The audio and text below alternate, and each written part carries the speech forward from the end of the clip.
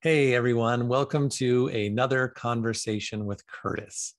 For those of you joining me for the very first time, welcome. And for those of you who have been with me for a while, welcome back.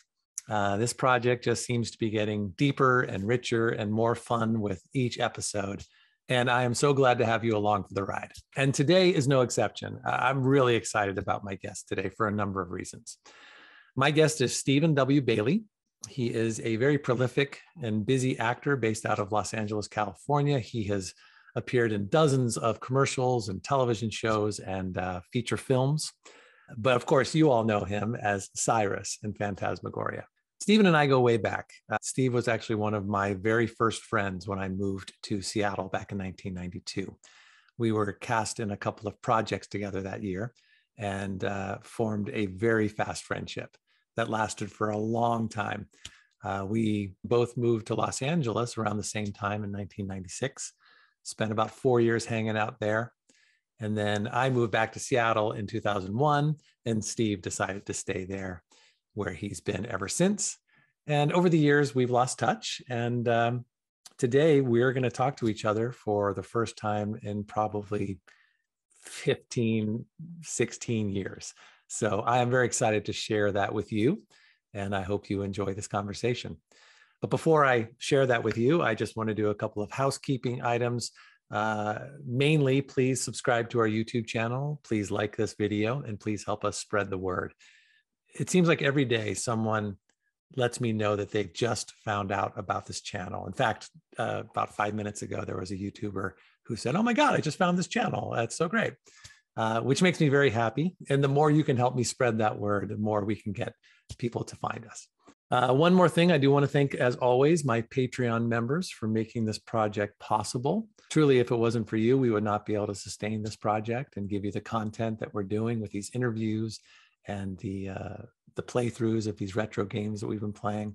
Uh, so thank you so much for your support and your contributions. And for those of you who aren't Patreon members, please consider joining us, even for a little while. Every little bit helps. Even if you come on for just a month or two, you can opt out right after that. That would be great. All right, I think that's it. Everybody, please enjoy my interview with Steven W. Bailey. Whoa, hello, Mr. Stetler. Everything you say can and will be used against you. How you doing? Look at that. I'm well, man. How are you doing? Oh, buddy, it is so good to see you. It's been years, my friend. Years.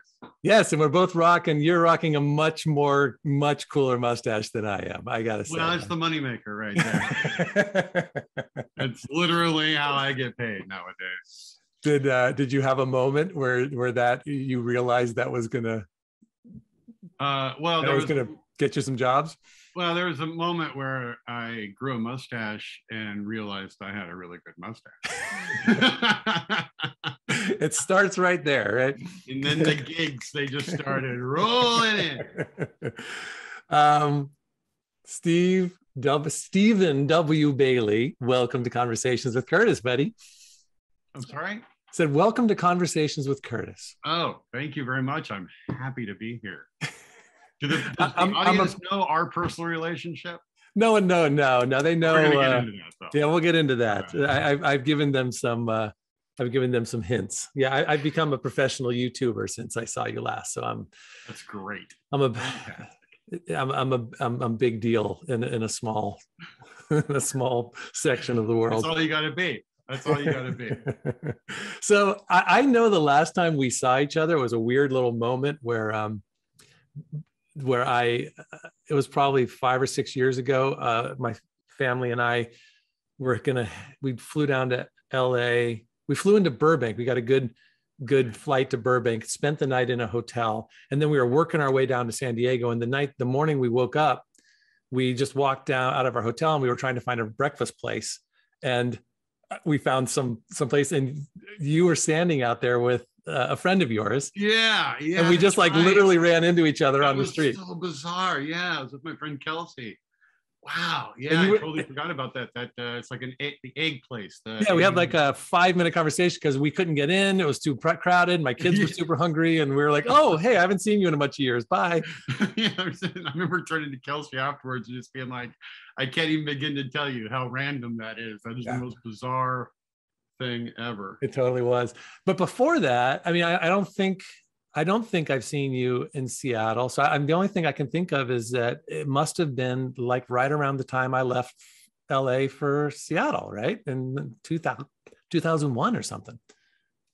I mean, I can't remember yeah, when we hung out last. Probably. Yeah, probably around that time because I didn't go up, you know, my family, I can't remember the timetable at all, but like my family doesn't even live in Seattle anymore. Like, oh, I they don't. don't. Go, no, they're all in Eugene, Oregon now. So when I go home to see family, I don't even go to Seattle. So oh, so no more Edmonds. Like, not like I've been completely ditching people. I just don't. I just don't go up there. Right, know? right. That makes sense. Okay. Uh, that, yeah, my entire family's in Eugene now. It's kind of okay. Thing. That's a story for another day. Yeah, story for another day. Sounds good. Um, but uh, yeah, I think uh, last I remember is I know we had a fairly regular poker party at the the Cell B house that I lived in, and uh, right that might have been like around that time, or maybe just a you know like we got a drink before I moved up to Seattle. But anyway, yeah, right around then. I can't 20, the time. You know, it's so long ago. Yeah, twenty uh, years ago. Anyways, yeah. how how how things been? Everything good? Everything's fine. I mean, you know, over the last twenty years, uh, there's been ups and downs, strikes and gutter balls, as they say. Yeah, uh, yeah. You know, Sweet. I just still just down here chugging along not smart enough to leave LA like other people. Well, you've had the the, the blessing and the curse of getting just enough work just enough yeah just you know. Just enough work to ruin just, my life. just enough uh, residual checks that kind of come in and make you go oh okay all right i can do this still. Just enough to sacrifice everything. Yeah. And and, and just barely go like all right that was a that was a career. Yeah, speaking of speaking of residual checks, I got one the other day. There we go. What's that? I'm an old man. Two dollars. Two dollars and forty three cents. Nothing, dude. That's nothing. I've gotten three cent residual checks before. three cent. You know, there was a place, and it was actually uh, recently featured in the show Barry.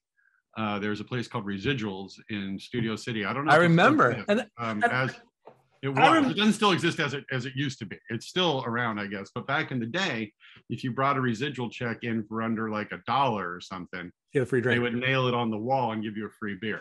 But I remember going to that bar, and in my mind, it was going to be this, you know, this great dive bar, and it was just going to be plastered to just residual checks everywhere. There's a bar in in, in Alaska. Um, it's right on the spit, and it's uh, I forgot the name of it. It's like this classic bar in, in Alaska, and everybody uh, puts a dollar bill. They write something on a dollar bill, and they put it. And so that whole bar is just filled with dollar bills on the wall, and it's really I cool. I think I've been that place. Yeah? yeah. And so I thought it was going to be like that, but it's way cleaner than I expected it to be. It was just like they had they would put them up, but they only had like one little area. It wasn't nearly as as cool as I thought it would be. I had the same feeling, but I felt like, and maybe it's maybe it's always felt like disappointing, like what we were talking about. But I felt like it used to be more. By it the must, time I went there, it was. Yeah, maybe by the time we got to it, it wasn't. But maybe it was cool. always disappointing. Maybe everybody always wanted to be something. Like life, like life in general. Like life. it ends up being disappointing. That's just the way it is. Well, hey man, this is so great, and and so I'm gonna. This is gonna be a little bit of a "this is your life" kind of uh, event. Um, uh, we got a lot to cover, and I'm excited to to talk about. Uh, and you sent me some pictures today that just blew my brain wide. Yeah, open. man, I and, knew they would. And uh, so we'll look at those. And uh, but I do want to start with. Um, I watched. Uh, I've done this with two other interviews recently, and, and I, I, think I'm getting better at it. So hopefully you'll be the beneficiary of, of my earlier mistakes. But I I like to get the guests to kind of tell just give us a little sense of their their life. And so I'd been telling them to tell their life story in three minutes or less, just quickly try to get through it. And then that was okay, but not everybody. It wasn't quite as specific as I wanted. So I watched the um, the Master recently. You know, the Paul Thomas Anderson movie with yeah, Joaquin yeah. Phoenix, and and if he's you know it's it's it's basically about Scientology, and uh, Philip Seymour Hoffman just uh, they have a moment where I think they're called like processing or something, but he just rattles a bunch of questions at, at Joaquin Phoenix, like Oh, just boy. quick answers. And so I'm going to set a five minute timer and I'm going to try, we're going to try to get through your entire life in five minutes or less. No wrong answers, right? No wrong answers, but we got to go quick. This is not going to be, we'll, we'll, we'll dive into other stuff later. But right now you got to just give me, give me the, all right, let me start this sucker. And then, oh, not 20. start the time. Put the timer on the big board. on the big board. It will be on the big board when when this plays live on our on our YouTube premiere. All right, let's see. Let me get you over here. Let me get my questions right here. All right, here we go. Where did you grow up? Uh, born in San Diego, grew up in Seattle. What was the name of your neighborhood? Seaview. Seaview. Is that Edmonds? Seaview Edmonds, yeah, right. right. down the street from Seaview Park, and, and in between Seaview Park and Seaview Elementary. I remember having a couple of Thanksgivings at your parents' house. for sure. Who? yeah. Speaking of your parents, who are your parents? Uh, Larry and Anita Bailey. What did they do? Uh, my father is a professor of psychology. Was he's retired now at a small Bible college in, in Edmonds, Washington, for many years. He's also a 30-year, uh, well, six-year uh, active, 20-some odd year uh, uh, reservist naval officer. And my mother was uh, a a raiser of four children and and whatnot like that. She passed away uh, a year and a half ago or so, but my Okay. father's still with us. Yeah, Okay. All right. Well, sorry to hear. Sorry to hear that. But yeah. uh, she had a Um, great life. Yeah. Uh, you have siblings. You have three kids, three siblings. Tell me, Uh, uh, one elder brother and two younger sisters. did you get along as kids? Uh, yeah, yeah, we did. For I mean, as much as kids do, you know. Yeah. I mean, yeah, we had strong relationships for sure. Do I you get along now? Yes, absolutely. More so now, I think. You know, the our adult relationships are, you know, obviously when we're kids, you're tormenting each other a lot. But uh, you know, I'm not as close. I mean, they all live very close to each other. Uh, my it, literally, they all live within a couple of miles of each other in Eugene, and I'm kind of the out outcast down here in LA. But so I get up there whenever I can. I'm sorry, they're not too far. I mean, not too can- far. No, and it's great because it's like one-stop shopping. You know, they're all there. Yeah. Uh, my one of my sisters is about to move to Northern California, but up until now, it's been everything there. Okay. And uh, moving yeah, on. Moving on. Here we go. Where did you go to elementary school? Seaview Elementary School, Edmonds, Washington. What were you like as a kid? Uh, probably annoying. I've always been a sensitive lad. Uh, I was always, uh, you know, one to be quick to get upset and cry and whatnot. And, but I had to overcome that over time. Strangely, I became an actor. Nobody knows why. I don't get you it. have complete control of your emotions now. Uh, name one of your child. Name one of your childhood obsessions. I was really into flying as a kid. I, I still am. I actually got a pilot's license as an adult uh, for a little while. I did that, but when I was a kid, I just always spent a lot of time. My dad would take me to uh, uh, air shows and stuff like that. And being in Seattle, Boeing, whatnot, was Yeah. there. Yeah, I didn't know Yeah. that. That's People awesome. had a had a Mooney, a 1965 Mooney. We flew around in and stuff. It's pretty cool. Dang. Okay. I want to hear more about that. How Yeah. did you survive middle school? Middle school is weird because I had I went to four different schools in four years. I went to you know elementary school, sixth grade, Seaview Elementary School, and then I went to College Place Middle School, and then they moved around the uh, the barriers or whatever. a school closed, or whatever. So I went to Meadowdale Middle School, and then I went to Meadowdale High School in ninth grade. Because our school was I go just seventh and eighth where we were at. Gotcha. So Yeah. I mean, I was just, you know, blah blah blah. I was always uh, the newer guy or whatever, and, and hanging out. Um, my, when I first started getting into acting back then. Actually, I remember doing a play in eighth grade called Airport Adventure. It was an original work, I believe, by the teacher. It is not of course. it a- it you. Yeah. Good. It's actually a funny story. It's one of my earliest memories of acting was uh, I was on this really crappy stage in like a, a, a school room, you know, just flats, you know, and I played this like security guard and I, I had business, but a lot of time I stood there, you know, and there was a little peephole right in the wall where the teacher would look in and go like, Hey, what's going on? And I would purposely, I just remember I was just a jerk. I'd purposely like stand in front of the peephole so he couldn't say anything. and so I was just like every, every time. Anyway, and so we go five minutes. We got five minutes. Go, we go, got five go. minutes. Right. We're running out of time here. Uh, we got a minute and three seconds left. Um, uh, what was the first book you read that blew your mind? Catch 22. What was the first movie you saw in a theater that blew your mind? Probably Star Wars. I Yeah. mean, that's a strong image in my mind. Yeah. Yeah. Uh, were you popular in high school? Yeah, yeah. You know, I was the theater nerd. I was like the head of the theater department. I did mm-hmm. announcements over the the PA in the morning. You know, Nice, nice. announced What, Stephen Marcus in the morning. You know, what was the first music concert you went to? first concert. I, people should know that. I don't know that off the top of my head. I want to say REM. It might have been. You know, I had this weird experience where I went and saw a Poi Dog Pondering show. If you remember those guys. Oh, I've heard of. I remember them kind of. Anyway, It was like a all ages show, and I was like 17. That might have been the first one. Okay. I don't know. Anyway. What was the first? What was your favorite video arcade game as a teenager? Tank, uh, the tank battle, the uh, you, Oh. the whatever this is. Yeah, I Uh, remember that Battle one. Zone. Battle I remember that. What was So the that was like Punch Out. What was the first computer game you ever played? You know, I don't remember what it was called, but I remember back in the day, my buddy had a Commodore 64. We really had cassette tapes that you would put in, you know, and play these little, you know, Q*bert kind of games and stuff on the computer. I remember Right. that. I don't know if that really qualifies what you're talking about, like these I don't know. modern computer games, but Yeah, it's a funny thing is, is that I somehow got because I acted in a video game a long time ago. I'm, you know, I'm immersed in the world of of video games, and so I, I'm beginning to talk like I understand video games, but I don't. I don't play them. I'm. I've played five games, four games in my life. Um, all right. Uh, the first one, I well, keep. It's it's all about you. Did you go to college? I did not go to undergrad. I have a very strange educational arc. I went out of grad school and I did a bunch of theater in Seattle with you. We'll talk about that later. Uh, and then I was fortunate enough to go to ACT, American Conservatory Theater, which is a grad program. But uh, we had this thing, they had this thing called there that was colloquially called the, the SHMO program, where they let in a couple of people every year who just had a strong resume that didn't have an undergrad degree. So I'm a graduate of a graduate program, but I don't have a graduate degree. And my fellow classmates I went with, they all have graduate degrees.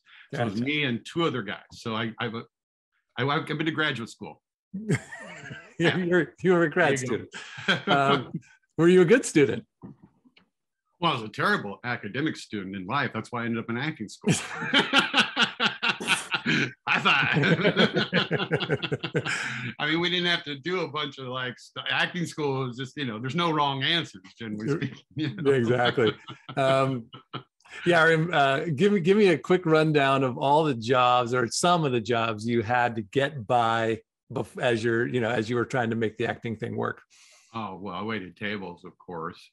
Uh, what else? I waited tables a number of places. Probably the weirdest job I ever had. Well, I was working at a video store. That's not that weird, but people don't remember what video stores are, so I guess it's weird. But I was working These at a video store, and we had this regular that came in who asked me if I wanted this other like side job, you know.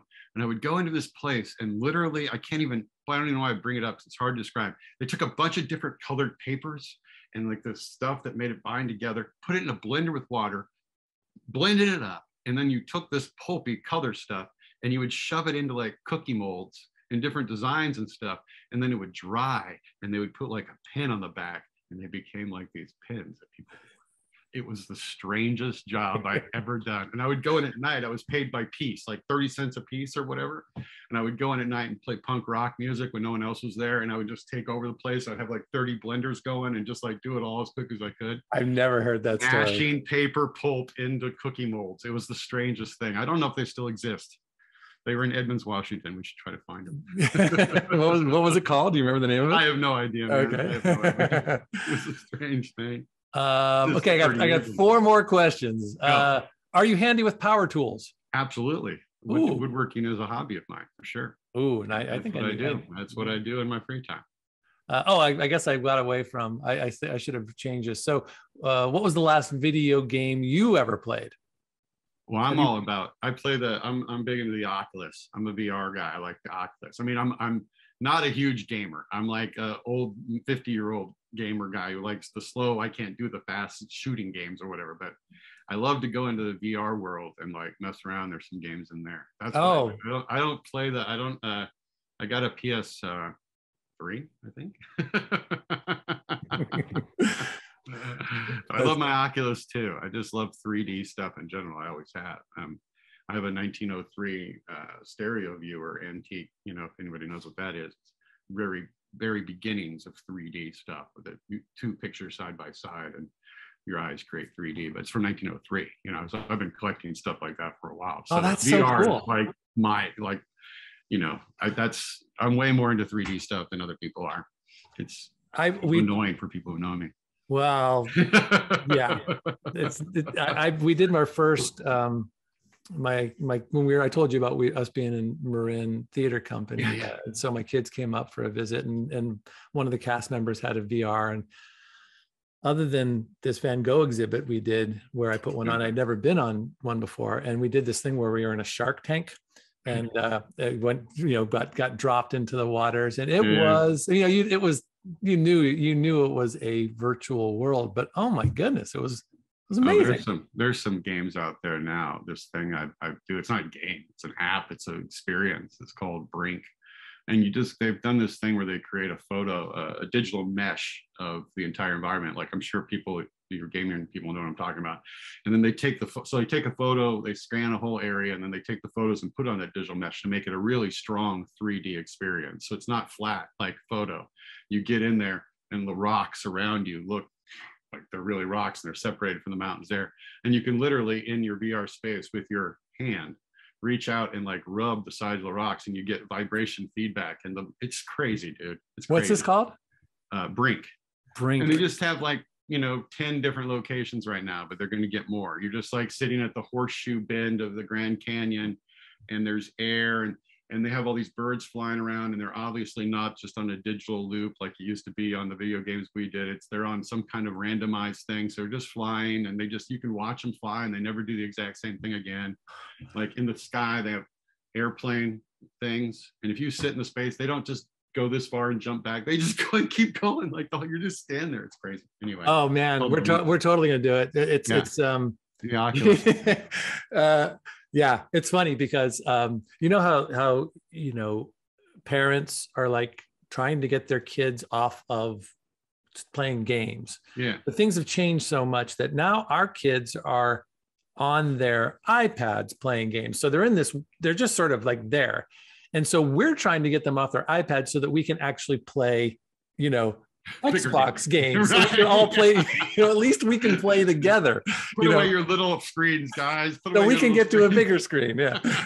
That's how things have changed. Um, all right. Last two questions. What was the last to do item you checked off of your work list? I, uh, what did the last? Oh, I just yesterday sent a bunch of stuff to my accountant for taxes.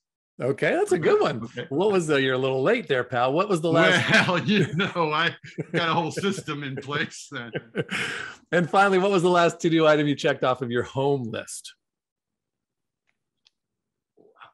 I, I, I did laundry yesterday. All right, does that count? That counts. That list? counts. Uh, I, I paused. I paused it.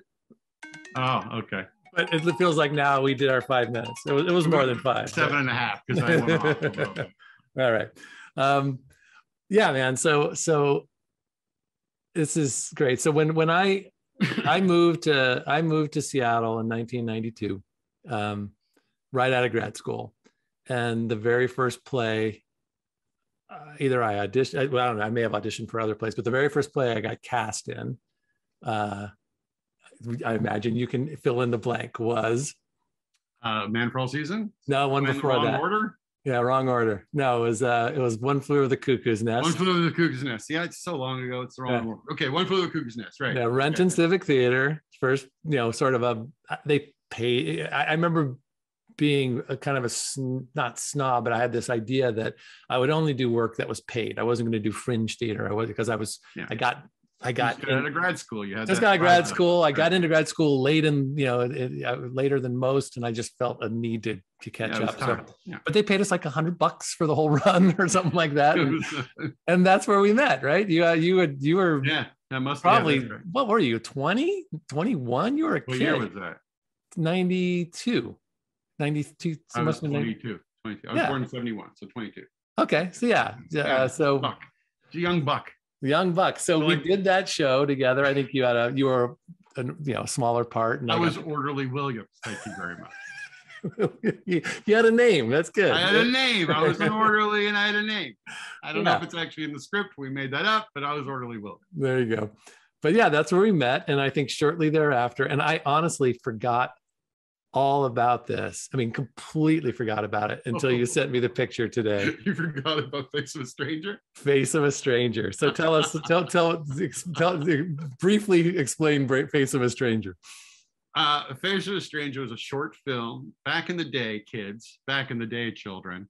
It wasn't, you couldn't just make movies on your phone. You had to like buy a bunch of film and it was expensive and it was a big deal. And people used to make short films to try to, you know, get gigs, get jobs as directors and writers. So this guy named John hired us both independently. We didn't know, you know, again, it happened three or four times we worked together just completely independently. It was always Paul had the good role and I was like the young kid doing this little thing over here. but uh Faceless Stranger, I can't remember the plot exactly. It was something like uh you slept with my sister. I think is something I kept saying over and over again. You slept with my sister. You slept with my sister. and then I believe I, I punched you. I definitely punched you at some point. And we were, we were best friends, and that was a big deal. I, yeah, I, I best ruined... friends, and you slept with my sister. Yeah. And I remember being uh, very nervous when we did that, especially when we shot. There was a scene up in some like condo overlooking Seattle you remember that place? Oh yeah, gorgeous nice place. place. Yeah. yeah.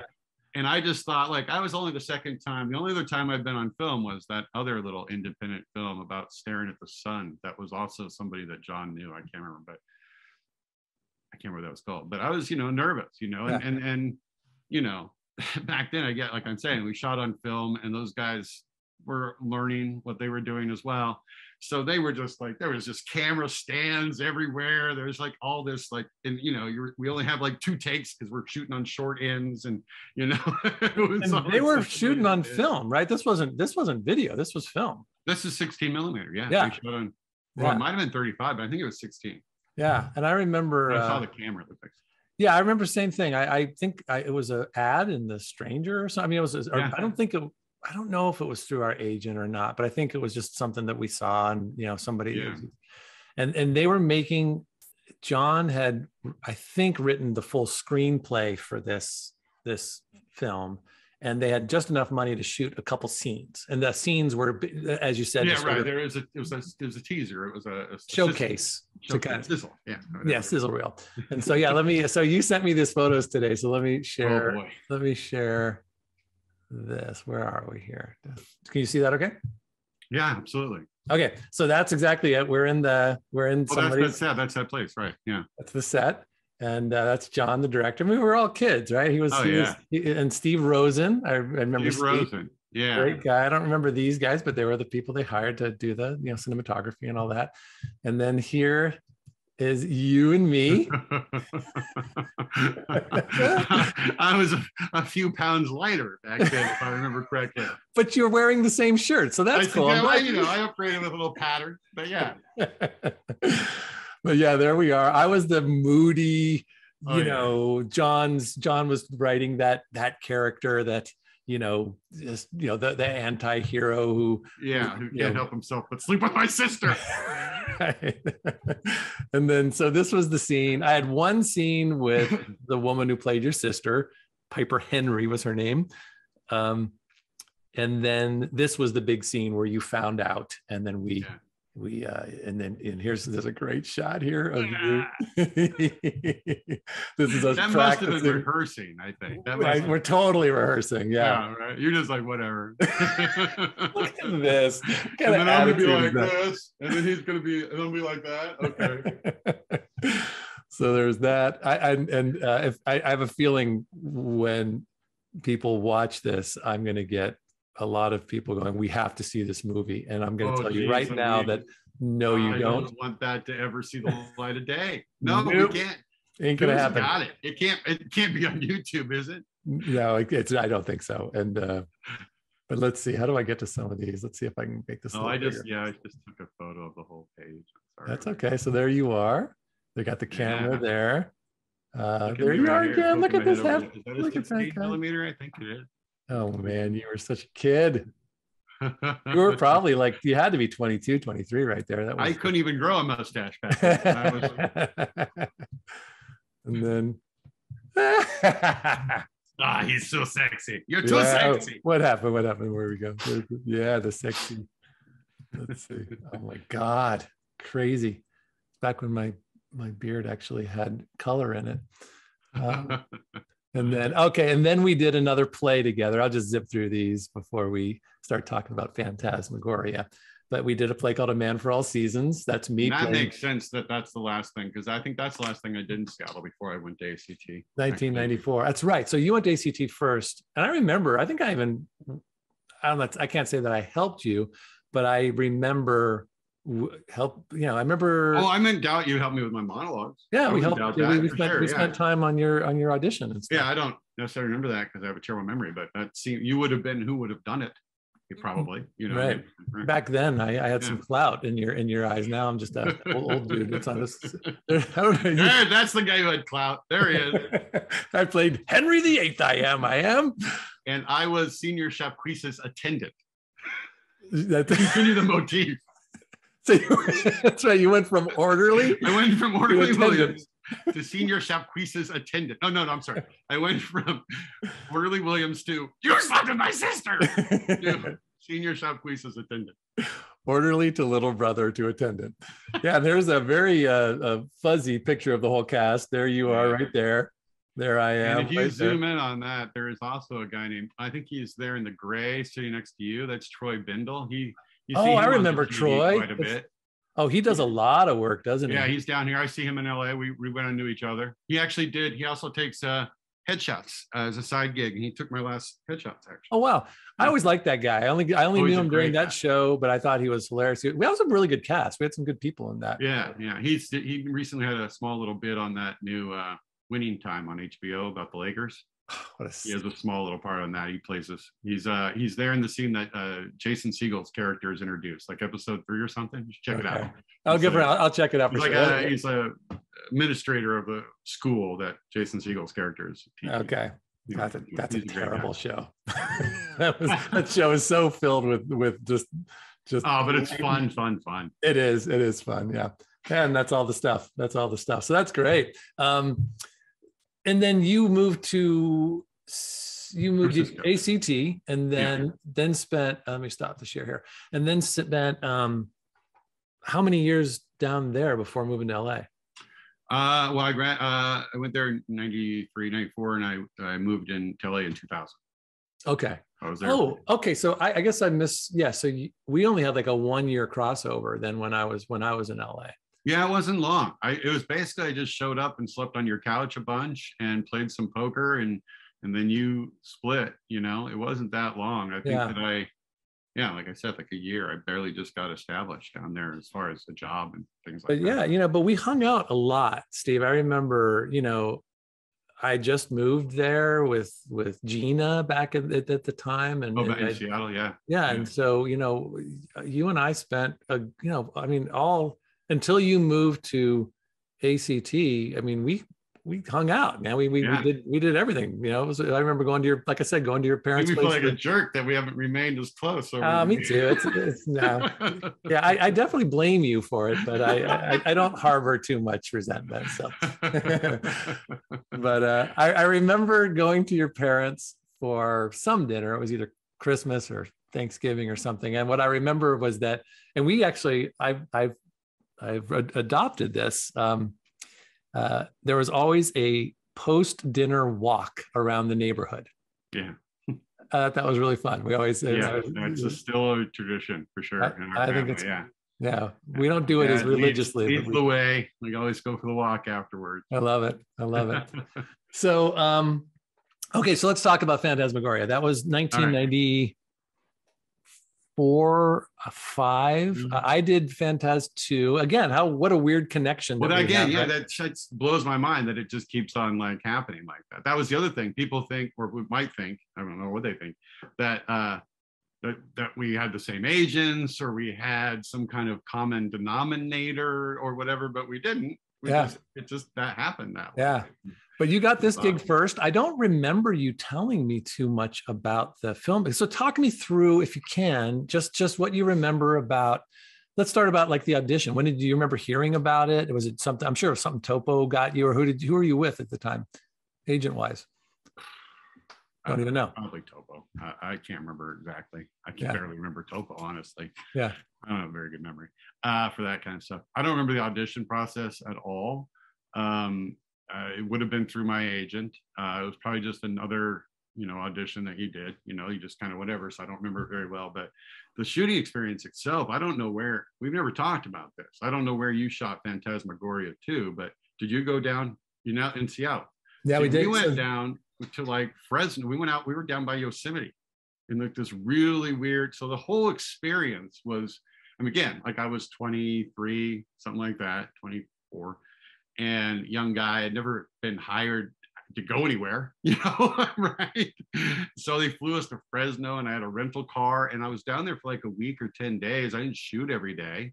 I was just hanging out in this little town called Bass Lake and the the shooting it was in this small little it, it was a weird like i don't know if it was converted from something it seemed like a legit shoot space it seemed like a legit studio i don't know if it was purpose built for that or not but it was in the oddest place and i don't know exactly what sierra online's thing was. They were from there originally and they had offices in seattle and then they flew back and did that there. And obviously by the time they did the second one they were in seattle. Yeah. um, but it was uh it was like everything about it. I like you know i went to yosemite and encountered a bear. I, you know all these weird things happened while i was there to shoot this thing because it was in this odd place and i had nothing to do and i had a rental car just like whatever you know Oh, you have to tell me about the bear. What's what's the bear story? Oh, well, I just brought that up because I like to tell the bear story. no, it's actually a long story. I won't tell the whole thing, but it was a day I had time off and I didn't have a full day. Well, I didn't get my act together in time to have a full day to do this. I just, you know, by probably by noon, I left the house or whatever, left the hotel. But I drove into Yosemite and I thought, well, I'm just going to go in there for the day. I'll probably pick a different day to do more exploring, but I'm half day. I'll just go in there, you know, it's right here. And I did this uh, trail called uh, two two waterfalls two i don't know what it was but you do like this two thing. And i'll make a short story. Short i went up there and by the time i got halfway up it started to get da- dark and it was time to kind of go down. You don't want Yeah. to keep going. So everybody's kind of going down. So i i turn and i go down. I'm not prepared for any overnight. I'm wearing just whatever. I'm not prepared for anything and as i started to come down i come by this little bathroom area and there's a guy there who's like freaking out he's like going freaking crazy like just really agitated and so I asked him what was wrong, and he had lost his brother-in-law. Him, his wife, and him had gotten in a fight, and uh, and the wife had this brother who was uh, mentally handicapped, right? And so they got in a fight, and the woman stormed off down the mountain, and he didn't know if she took the brother with him or not, or if the brother was there with him. And the last time he saw the brother was in the bathroom. And so he's freaking out. And I immediately, once I, you know, see the Try areas, there's no brother, there's no brother here, you know. And so I have to talk this guy down off the mountain just to like, just like, dude, there's nothing we can do. We have to go down the mountain. This we don't have cell phones, you know, like whatever, not in Yosemite. And you had to go down the mountain and get to a cell phone and get professionals. And maybe your wife and brother will be in the parking lot, you know, great. Right. Get to the parking lot, no brother, wife's there. She notes that there's no brother. The two of them go at it crazy. I've got to be separating them, right? The whole thing. It was like, you know, we get on a cell, there's a payphone there, and the get the Rangers out there, and they're like, boom, we're on it. I'll cut cut to the end, so everybody. It, the, the, he was found and safe, and they called me the next day. It was great, but it was this whole thing, and they had they came with this car, and they're like, we only have room in the car for them two. Are you okay? Like, I'm, yeah, I'll just walk back, you know, because I don't you know the trailhead, but there's a bus that goes around and drops you off at these trailheads. You can't take your car in there. So I'm about a mile or so on this trail of this road. And you're like, okay, everything's done, everything's good. Yeah, I'm, I'm walking back. of. They're gonna get it. They're gonna get search and rescue going, and they just drive away. And I'm just like in Yosemite, city boy. I'm a total city boy, and I'm in there, and it's like thankfully there's a full moon, and I can kind of see stuff. But I have this mile walk or whatever. I don't know how far it is, but on this road with no street lights or anything, just the stars and the moon. And I'm already on the edge of my seat because I'm a city boy. And every you know noise, I'm freaking out. And as I'm walking uh, back, you know, down the middle of the street, I start hearing these banging of pots and pans, right? And I'm getting towards this campsite up ahead. And my first thought is, look at these yahoos. Look at these, you know, jerks over here, like banging pots and pans in the wilderness, like a bunch of jerks making noise. Everybody's trying to have a nice time. Everybody's trying to camp. Why are you banging pots and pans? And then I realized that they were driving a bear out of the campsite. down the road towards me, banging pots and pans to get the bear out of the campsite. I'm like, why are you guys doing all the noise, man? You know, Oh. oh, so this bear coming right at me. And he got, I don't know, 30 yards or something. And I ditched into the bushes, right? Just jumped into the bramble, like, you know. and as the bear came by, you know, he interacts with humans all the time, I'm sure. You know, he's yogi. But he just walked by, he lumbered by, he just was like, Yeah, I see you. I, my, my eyes are accustomed to the dark. Yeah, like, yeah, you're not hiding. I could totally eat you right now if I wanted to. Yeah. And like, If I hadn't, if I hadn't just eaten these people's trash, yeah, right. you'd have, you'd have been dinner. Wow, man. Okay, that that's a, happened while I was there. It was like a whole thing. And Yeah, so-. I, I did so- get a call the next day that the guy was okay. Oh, that's good. So yeah, what I know is that Sierra Online, uh, Ken and Roberta Williams, and Roberta Williams was the woman who wrote Yeah, yeah, uh, yeah. Fantaz. She didn't direct it, but um, she was the one of the owners of the company. And and when they, I think that's where they lived. Uh, and so when they started the company from scratch, they built it from there, and then they sort of took over that town. I guess is that called Bass Lake? Is that where they were? I don't know Um, if the town's called that, but it's right on Bass Lake. Okay. Yeah, I can't remember the town either. They've told me a number of times, but but the people listening will know what I'm talking about. But they that's where their headquarters were for a number of years. And when I think Fantaz one was kind of the tail end before they made their mass move to Mm. Seattle.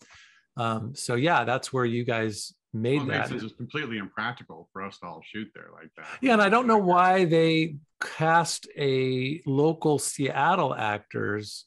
So they must have had some sort of. They must have already had some had a presence in Seattle. presence in Seattle, right? Yeah. And so you and V Joy were the two. I don't think I recognize any other act. I'm, I'm playing the game with Victoria right now, by the way.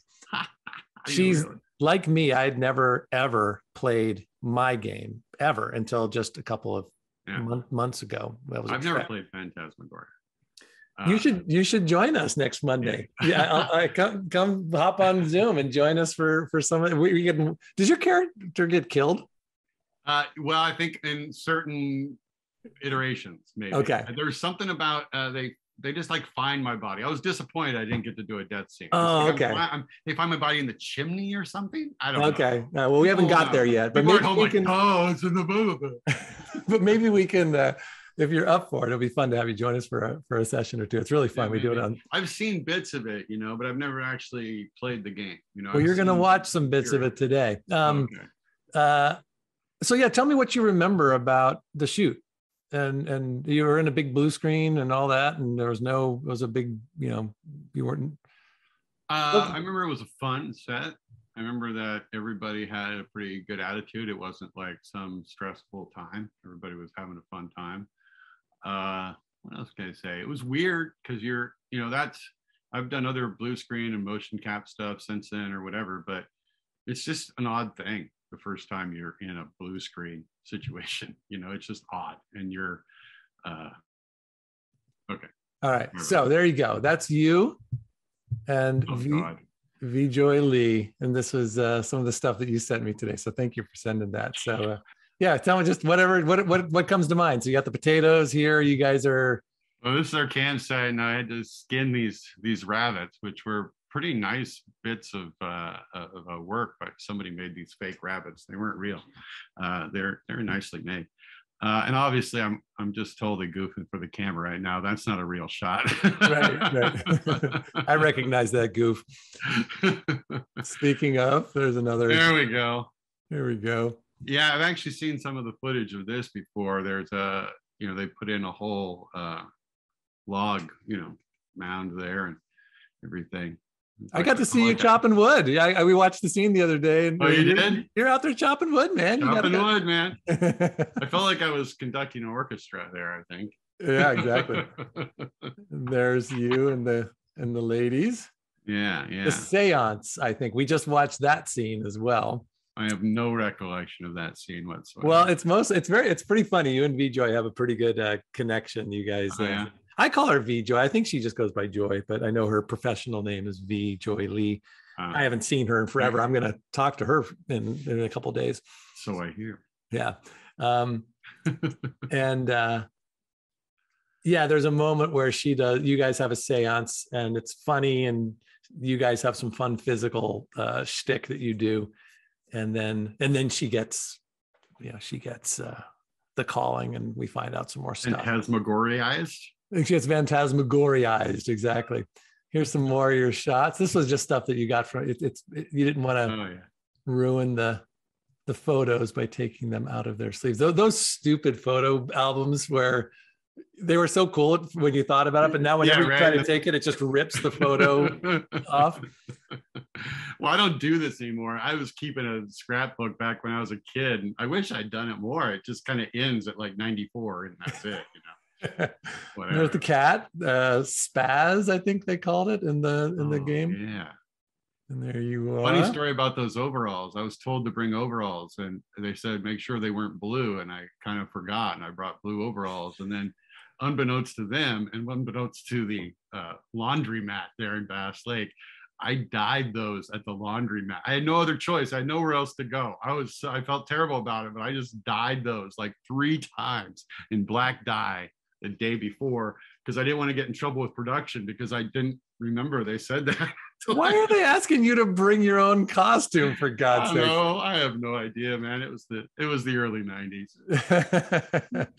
so just some great shots. And yeah, you really get a sense. Limitations is up on that laundromat thing. Well, it's funny as I'm talking to um, Tori, you know, Victoria, she has hardly any memories. And the more we talk about it, the, the reason being is that there's nothing to attach your memory to when it's all blue screen and you're just miming, right? You, Yeah. There's, I mean, I got to do Phantasmagoria 2. At that point, they decided, oh, let's move away from blue screen and let's do it like a movie shoot. So I had the opposite experience where they had sets and we shot on location. And, and so I have very visual memories of all the places that we went to because they were real, but I, I can make, I can see why it would be hard to remember.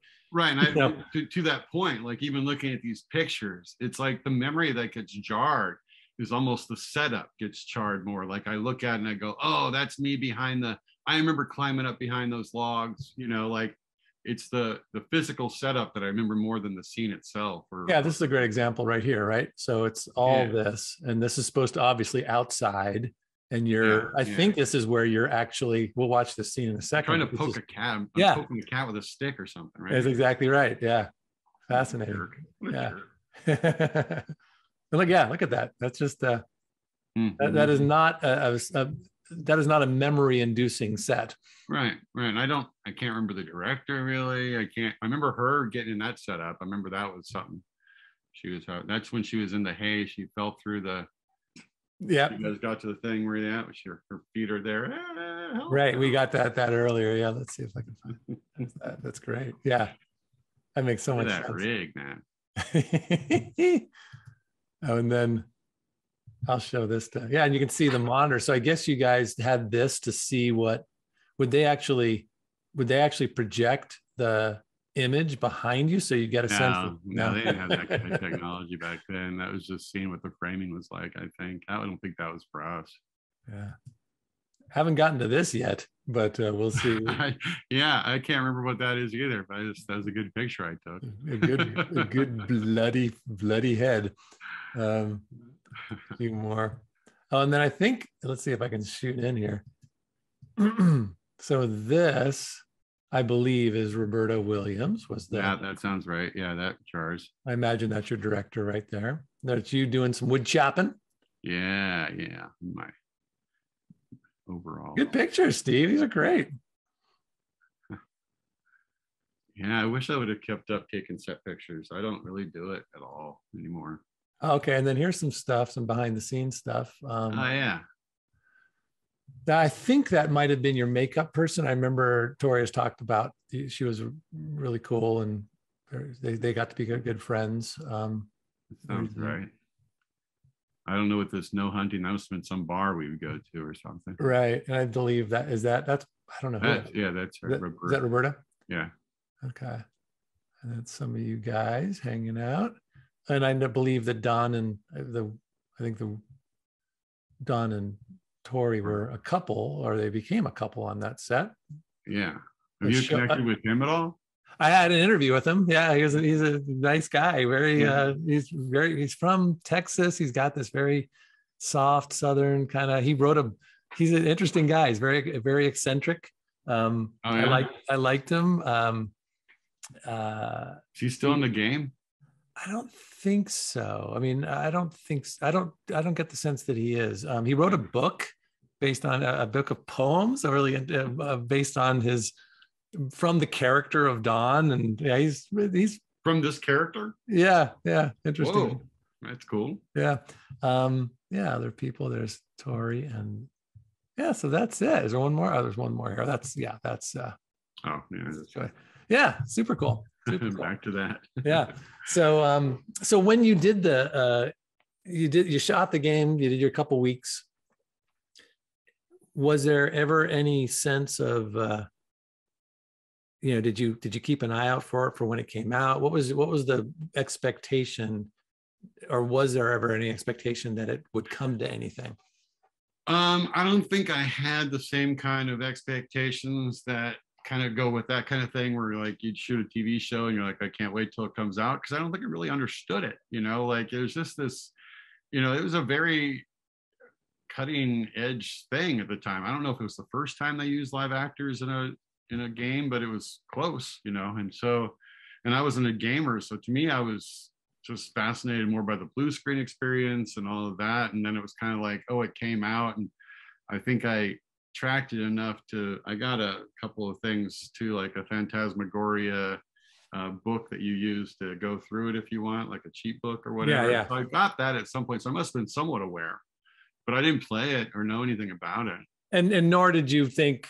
Uh that this was going to be um, a career changer or uh, you know that it was going to help you know get you going into the no i didn't i didn't feel like that at all well i was also kind of like it was at the time in my life where i was deciding to go to act and grad school and stuff and so it was kind of like oh this is just a job and then i'm going to go and be out of the game for a while and go to school and stuff. So I wasn't really thinking about how it would help my career forward because in my mind, my career was about to stall for a couple of years when I went to school. Right, so. right.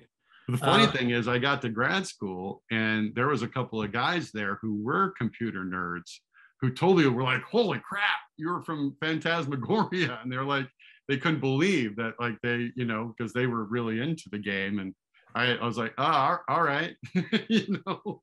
well, let's talk a little. Yeah, that that's it's it's interesting because I I felt the same way as you. Like you know, I my experience felt a little bit more like a real film just because of the way it was it was made and and I, I, imagine I, it felt much more like a real thing yeah yeah and, and I, I played the lead so I did feel like oh I got this yeah it was a it was a really well paying job and I hadn't had a lot of film experience outside of Face of a Stranger, um, and uh, uh, so it was a really great opportunity.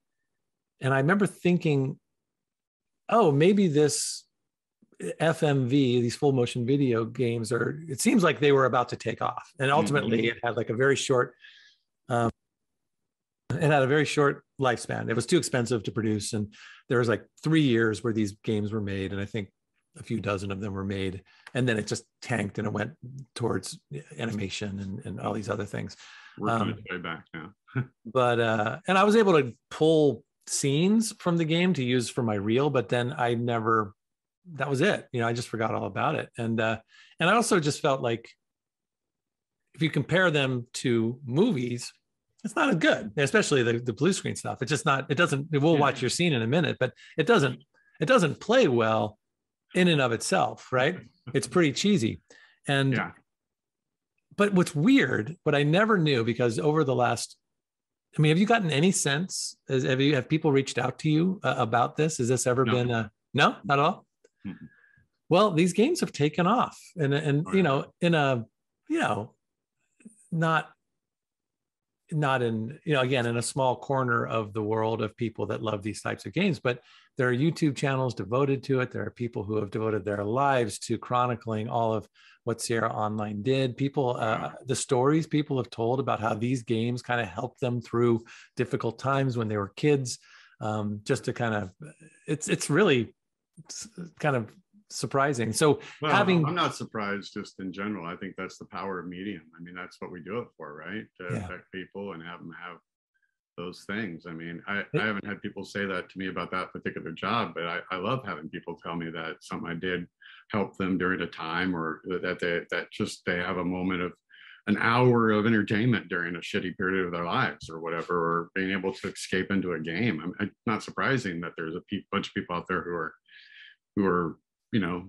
making it making us all remember it and let's go back to it you know and, and celebrate it Yeah, that's exactly what's happening. I think there's a there's a whole nostalgia factor that's happening right now, based on, of course, the That's cool. pandemic and everything else. And right uh, but yeah, but the one the thing I was leading to is that having only seen clips from these games, your game, my game, uh, grabbing clips now that I'm doing this this series, it it lives in this place that I've always saw it. And then when I finally played the the first my game, and now I'm Mhm. halfway through yours, it's a totally different experience. It- you actually, you know, it's not 3D, it's not it's not virtual reality, but you get into this world. You are run. You get you get to walk around this the mansion. Uh, you get to look at every little thing. Every time you get a new chapter, something new happens, and this you know this experience just builds upon itself. And so I, for the first time i really get it's still cheesy it's still fun to laugh at and have a good time but i really get why people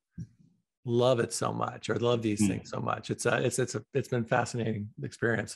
So that said we won't be able to play the game but i do want to share a couple of scenes of my pal. So Hmm. talk to me a little bit about cyrus. Yeah i know you and i talked about tell me about what what what did they tell you about him? What did you you know what were you doing with him? Uh well like i said this was shortly before i decided to go to grad school. And the reason i decided that is because i needed to learn more about being an actor because uh, I, I didn't know what i was doing as far as that goes. And uh, I I felt like uh, really all I really felt like I brought to that thing was, um, and I joked at the time, everybody thought it was funny, but it was the truth really, is I was doing a poor imitation of John Malkovich from Mice and Men. That was my goal, just to do kind of like an overblown impersonation of him doing Lennie from Mice and Men. And I feel like I did a very good job of making an, a caricature that I should be ashamed of now. I think I achieved the goal of making a very broad caricature that um, I'm embarrassed of, certainly in the light of how we think about stuff nowadays. I don't think uh, uh, I would approach playing a character with mental illness the same way. I certainly would give it more respect.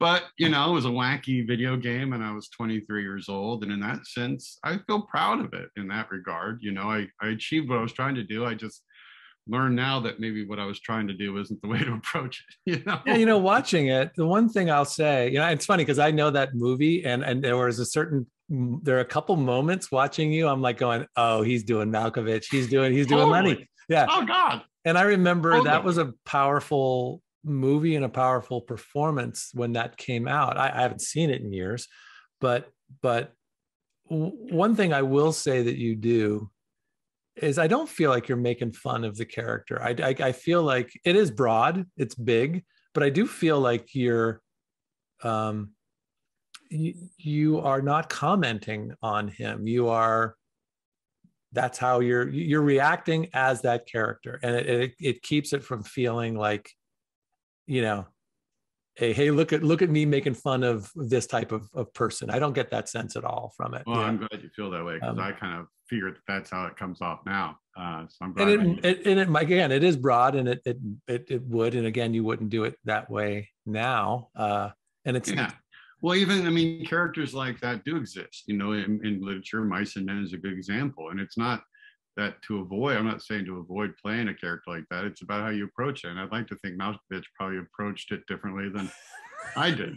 you know. well, you approached he approached trying to find how to be that character you approached how to be like john malkovich He was doing an impression of Gary Sinise playing Lennie. my uh i had an acting teacher who said and i always loved this and it was he said good acting is pretending and bad acting is pretending to pretend And so he would make an example of like if I'm pretend if I'm a kid in a playground and I'm pretending to be, you know, uh, a pirate, I'm being a pirate. But if I'm pretending to be pretend, I'm like, you know, this is what a pirate looks like. Here's me Right. doing this. You're, you're putting Yeah. something on top of it as Yeah, opposed to living in that world. And uh, so I think there is that. Maybe there was a little bit of pretending to pretend, you know, from a young actor who hadn't got his training yet.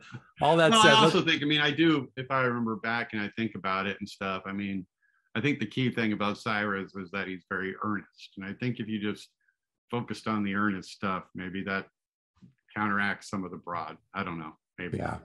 Hey, everyone, I hope you're enjoying this interview. We'll get back to it in just a minute. But before we do, I want to take this moment to say the only reason we're able to watch this right now is because of the generous support of my Patreon members. And the only way I can do my next interview is the generous support of my Patreon members. I would like you to be one of my generous Patreon members so that we can continue to do these interviews. My hope is to do one of these a week and maybe eventually even two of these a week. And we can cover more and more of these incredible artists who have created so many of your favorite games. So before we get back to the interview, just hop on Patreon real quick and and sign up. No, go ahead. I- I'll wait. Patreon.com.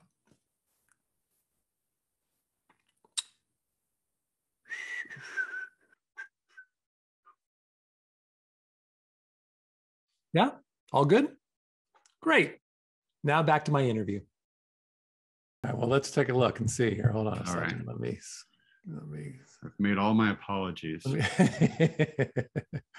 Now we can right. watch it. Here we go. So this is your introduction. I hope we don't go straight to a commercial. I think this is one of those ad. Ah. Yeah, that'd be annoying. Yeah. I hope, well, let's make sure that I have sound. I don't, but I do now. Boom, boom. Okay, here we go. This is, look at the beautiful tree they gave you. Oh my God.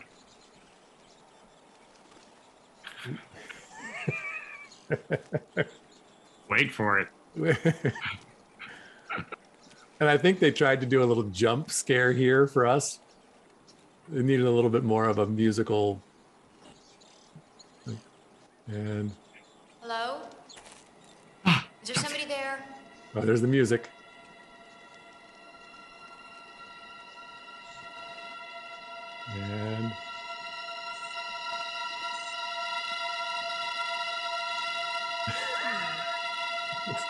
Somebody, don't run!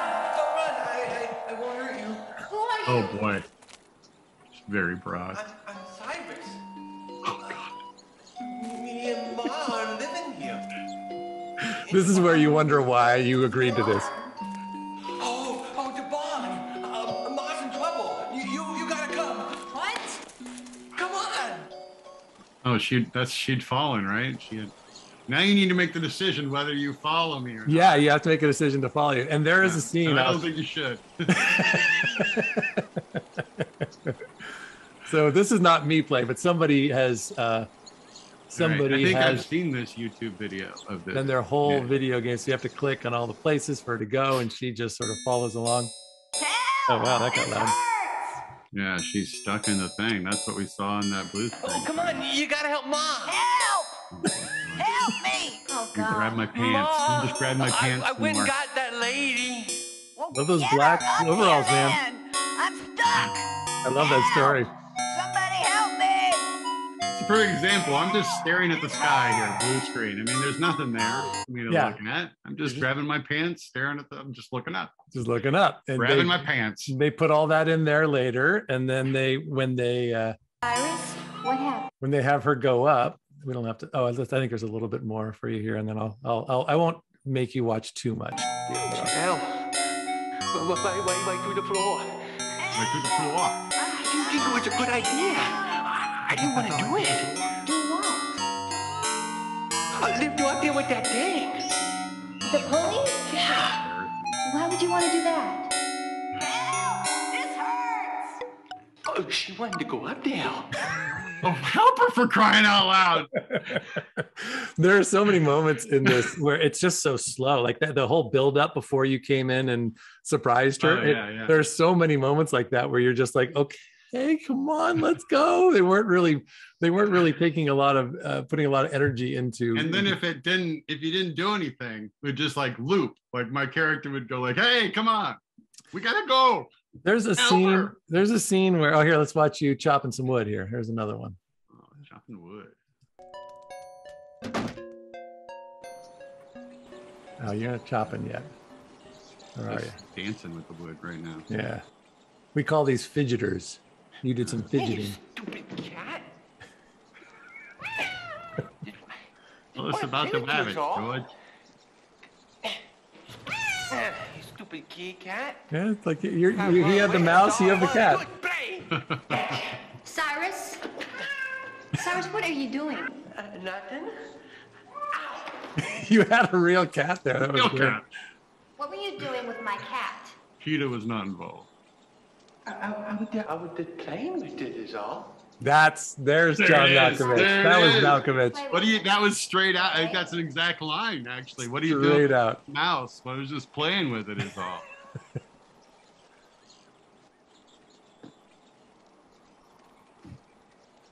So there we go. Uh, there more here. No, that's it. And then we go back. Uh, and then you do all sorts of things. There's one more moment, 155. I'm going to scoot ahead. 155, 43. Oh, went too far. This is, oh, here, I think this is when you're chopping wood. Let's see. Let's do that. Scoot ahead a little bit. There we go. There you go. Check out his wood chopping abilities. Boom. Uh, That- Cyrus? Huh? When I was in the Oh, they tower cut it. I could see a little building in the woods. I was wondering, have you seen it? Yeah. It, it, it's over. Well, can you show me the way? Well, the trail's all washed out. Usually what I do, I just jump over it. But where is it, Cyrus? So there's a moment here that's hilarious. I want to I want to watch all this. Oh, oh okay. So right here. I'll show you. Come on. Follow You me. you run off, and now you've disappeared. So in the game, you're gone.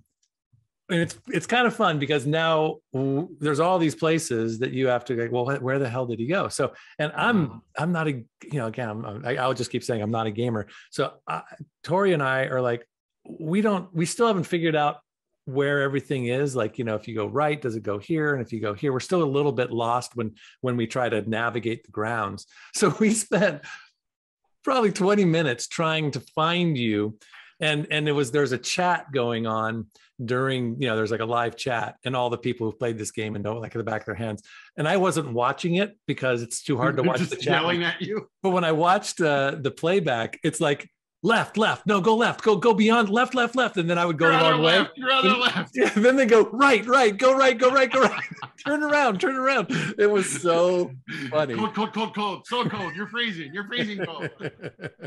so let's see. We get you. Here we go. This is the spot that they find you. All right, just keep putting my glasses back. Yeah. It's just the. Is it just reading for you? Is it just No, reading? no, but I keep the, the light is Yeah. it's annoying for the people. Oh, there you are. I've been waiting for you. I'm sorry, Cyrus. I tried to hurry. Oh, that's okay. Uh, see? There it is. Just like I told you. Come on. Don't you? And you do a big jump over Oh the yeah. That's pretty good. Match that. Oh, I don't know, Cyrus. Looks kind of dangerous. Isn't there another way? and then you have to decide to basically push the tree down so she can can go right so, Ah. so yeah there you go so what's it like watching this after all this is the first time you've probably watched any of this stuff I'm so glad you let me do all my disclaimers ahead of time uh, because it is a different period in my life. Hmm. Let's say. absolutely and, and i'm excited to talk about you know i, I- I got a chance to uh you know oh, and i want to spend some time looking at your the stuff you've been doing. Now I, i'm I, I watched your reels and, and man you're doing some really great work man. It's really it's really fun Oh. to it's fun to see. And I, I imagine i know that you know it's it's if you you know i know that it's the struggle that you you know just being an actor you always want to be doing more but um you know when you get a chance to look back a little bit and when i get a chance i haven't seen you in a long time and i get to see the stuff that that you've done and i get to see you pop up on tv it's it's really a it's a real treat you know oh one thing we have to talk about a little bit um is uh, fiance Oh, you know that could be a whole different story but i, that's I a whole other podcast, I'm sure. absolutely but i think it's worth so so this had to be right around- We're coming up on the 20 year. It was 2002, I believe, was Big Fat. yeah so i yeah, 2023 January, uh, 2003 January is when it aired. So we were probably shooting it right around now, 20 years ago. okay Or so a few months, but yeah. so you tell me tell me uh so steve uh starred in a tv show for fox i think Fox, yeah. uh back in the day called my big fat obnoxious fiance Correct. and it was a uh reality tv show that was a staged reality tv show so tell me tell me the tell me the uh scenario and how what what what was the Well, it's a convoluted scenario. This is the most difficult thing I always have to explain to people who haven't seen the show. It was like a double joke. You have to remember this is back before we had all this sophisticated, you know, reality TV where there's whatever, it's just everything thrown against the wall. But back then, like they, it was all kind of new and different, and we were trying to uh, do so. We were almost like it was like a hidden camera show that, in a weird way, sort of spoofed some other reality show, but then took it seriously. I guess you could say.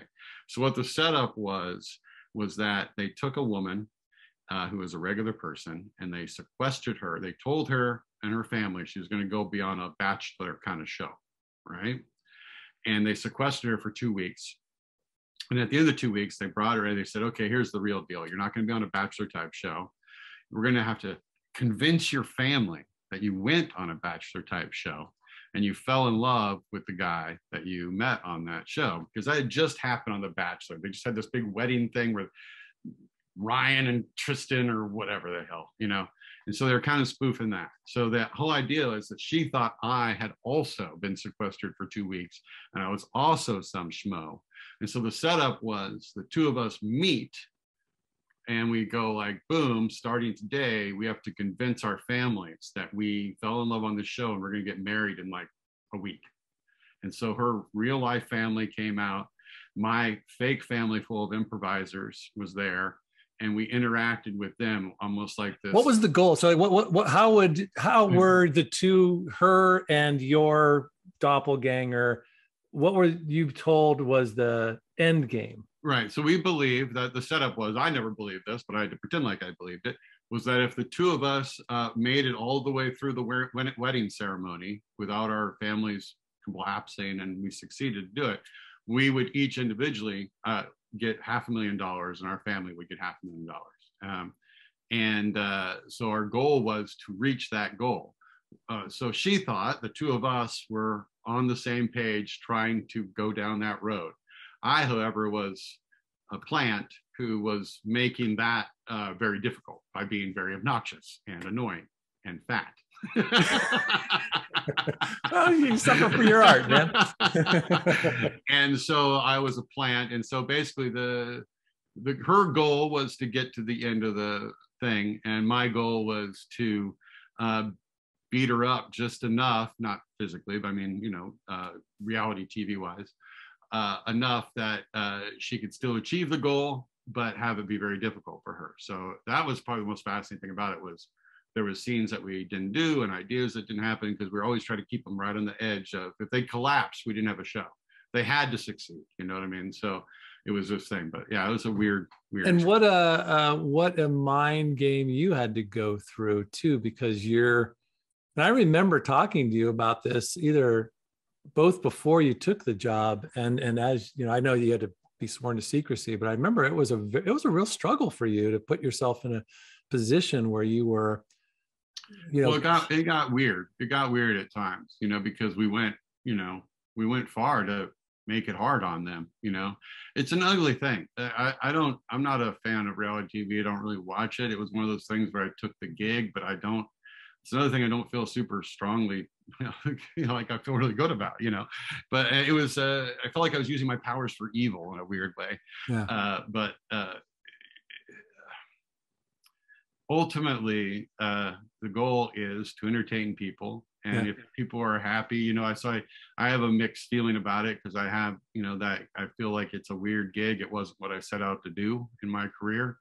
Uh, but then subsequently, I know that different people it had impact, like we were talking about earlier. You know, earlier people say, "Wow, that was something that was really great entertainment for me while I was in the hospital doing this or whatever." You know, and so you just go, "All right," you know, people are happy. But it's a strange, it was a strange thing. It got pretty bleak at times where we pushed them pretty far, and it was like they were going to collapse. And the other actors, my other improv people, were kind of like, "This is too far. We can't do it." And then we had to like really focus and go like we have to get to the end because the end is we knew the whole goal was for them to win and she did she got half a million dollars her family had half a million dollars the actors did not get half uh, the actors largely got screwed because they told them it was going to help so, so the, the reality was you guys getting screwed. They were putting one over on you in the first place. Uh, no, for sure, for sure. I was in on it, in on it. But there was aspects that were kept away from me, for sure. Yeah. Like when we when we were shooting it, it wasn't big fat obnoxious fiance. It was whirlwind wedding. Oh, we're doing whirlwind wedding. I didn't know it was called Big Fat Obnoxious Fiance until I was home in Seattle, walking through a grocery store Are you for kidding? Christmas time, and and there was like an ad for like audio, a radio ad. Big Fat Obnoxious. What is that? And it's someone. It's like a whole. So like they Oh. didn't tell me that kind of thing. You know, like I knew I was being told to be obnoxious. You know, that obviously was the goal, but Oh, they didn't tell you that. And just different. I mean, I don't want to. You Yeah. know, it's the industry. I'm not running down anybody in particular. This is how the industry works. You know, Yeah. where they they string me. I mean, I did. I got paid a decent amount of money. I'm not saying I got completely screwed, but I didn't get no half million dollars. You know what I mean? Yeah. and uh and you know there's this they have you on the fish you know oh yeah so you wake up at four in the morning and you do all these drive time radio you know ben and said ben and tim in the morning in miami and like we got big fat muxus you know like you don't get paid for any of that. You just drag your ass out at four in the morning and go do that in a sound stage and the whole time it's like don't you know they're going to take care of you. You're going to get a series on fox out of this. And, and then as soon as you're at that point like the president of Fox leaves and a new person comes in. They don't know you from Adam and they don't want you to succeed because you're the last guy's person, you know. And Yeah. it's like, whatever, that's Hollywood every day, man. every day. Every day. Yeah. And I recall, did, eh, did, do I recall correctly that you ended up becoming? I remember you saying how cool she and her family were as as people, and that you kind of got close to them near the after it was all over, and you were doing the press and stuff for it. Well, a little Is bit. I wouldn't say that we got close. We had a couple of nice moments where, you know, it was a very big shock for them that I wasn't who I was, Yeah. who I said I was. You know, so during the during the show, it was required for me to con them, and part of conning them is, you know, I I was kind of friendly with them on the show as far as my character could be, but like you know, you you, it's a con, and when Yeah. the con's over, they feel hurt, you know, naturally. Just even forget about the show and whatever feeling. Just it feels like. emotional. Just you feel con, you got con, you know Yeah. and and I and they didn't know who I was for real because I presented myself, and then they didn't get a chance to know me for real 'Cause because it was over and we are moving on. Yeah. And so then next thing, uh, you know, I did do some press stuff. I was able to, you know, go on. Uh, I went on Letterman and, and Leno, and I did the View and all that stuff. And during that time, the it all timed out right when the show was about to uh, have its finale. So I was on Letterman the night before the finale aired or whatever, and I I got a phone call the next day. That's probably what you're referring to from the father of her, Randy's dad, was on the show. He called me the next day because uh, he didn't know who I was, so he was very nervous. I was going to go on Letterman and just go like, "Yeah, they're a bunch of idiots," you know. Yeah. Yeah. And yeah, I went on and I kind of sort of. I don't think I defended them, but David kind of said, David, who's my friend David? Dave. you know, Dave, old Dave. Uh, he had kind of made some comments, and I kind of said, "Well, no, no, they aren't idiots. They we put them in a pressure, you know, situation, and we, you know, we we created, you know." So I, he was just, uh, uh, he was happy that I didn't Put just them call them through bunch of them. idiots. You know what I Yeah, mean? yeah. So we we had a little bit of a thing there, and then uh, my ex-wife and I had uh, uh, Randy over for dinner a couple of times and stuff like that. But even that was, uh, we got along friendly in that regard, but we didn't really keep touch because Yeah. really, you know, the only thing we really had in common was that show. yeah, the foundation it's was not the foundation was not a Uh, good strong foundation. Yeah, too. Yeah, and it's kind of like, well, you know, we can Yeah. talk about that. Hey, remember that time I totally fooled you and made you feel stupid? Yeah. Well, you've been. I'm, I'm gonna share your. Uh, I, I I'm just gonna pop onto your website here, Oh, which is which is Oh, great. it's vanity time. And vanity been- time. Yeah. And you've done so much. And so um, here's what I'd like to do because I know that I'm going to get tagged um, copyright stuff. So I'm going to start by just showing some of the photos that you have. and We can talk Okay. about the, the stuff. And then we're going to watch, essentially, we're going to watch your comedy reel and we'll stop through that uh, and talk a little bit about that. If If they allow you. if they allow they'll allow it. I'll either get so a couple things. I'll they'll tag it and i can say hey this is fair use. We're not we're not making money off of your thing as well. Or they'll just going to say no in which case they'll just extract those image those, those scenes. In which case i'll just go ahead and put your your uh, uh, website in, in the youtube chat so people can find it themselves. But so let's do this first and uh, just kind of talk me through what you see here. Um, so here we former go SAG president Al Rosenberg. oh really President of SAG after SAG for many years. Back in the day when it's kind of some controversy around him and stuff. But yeah, this is um Shameless. Uh, played an attorney. My mustache and I played an attorney. Yeah, sure did.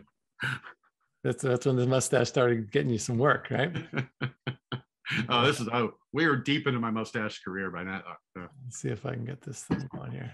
We uh, do this. There we go. Ty Burrell. That's the first one. All right. All right. Come on. Oh, There we go.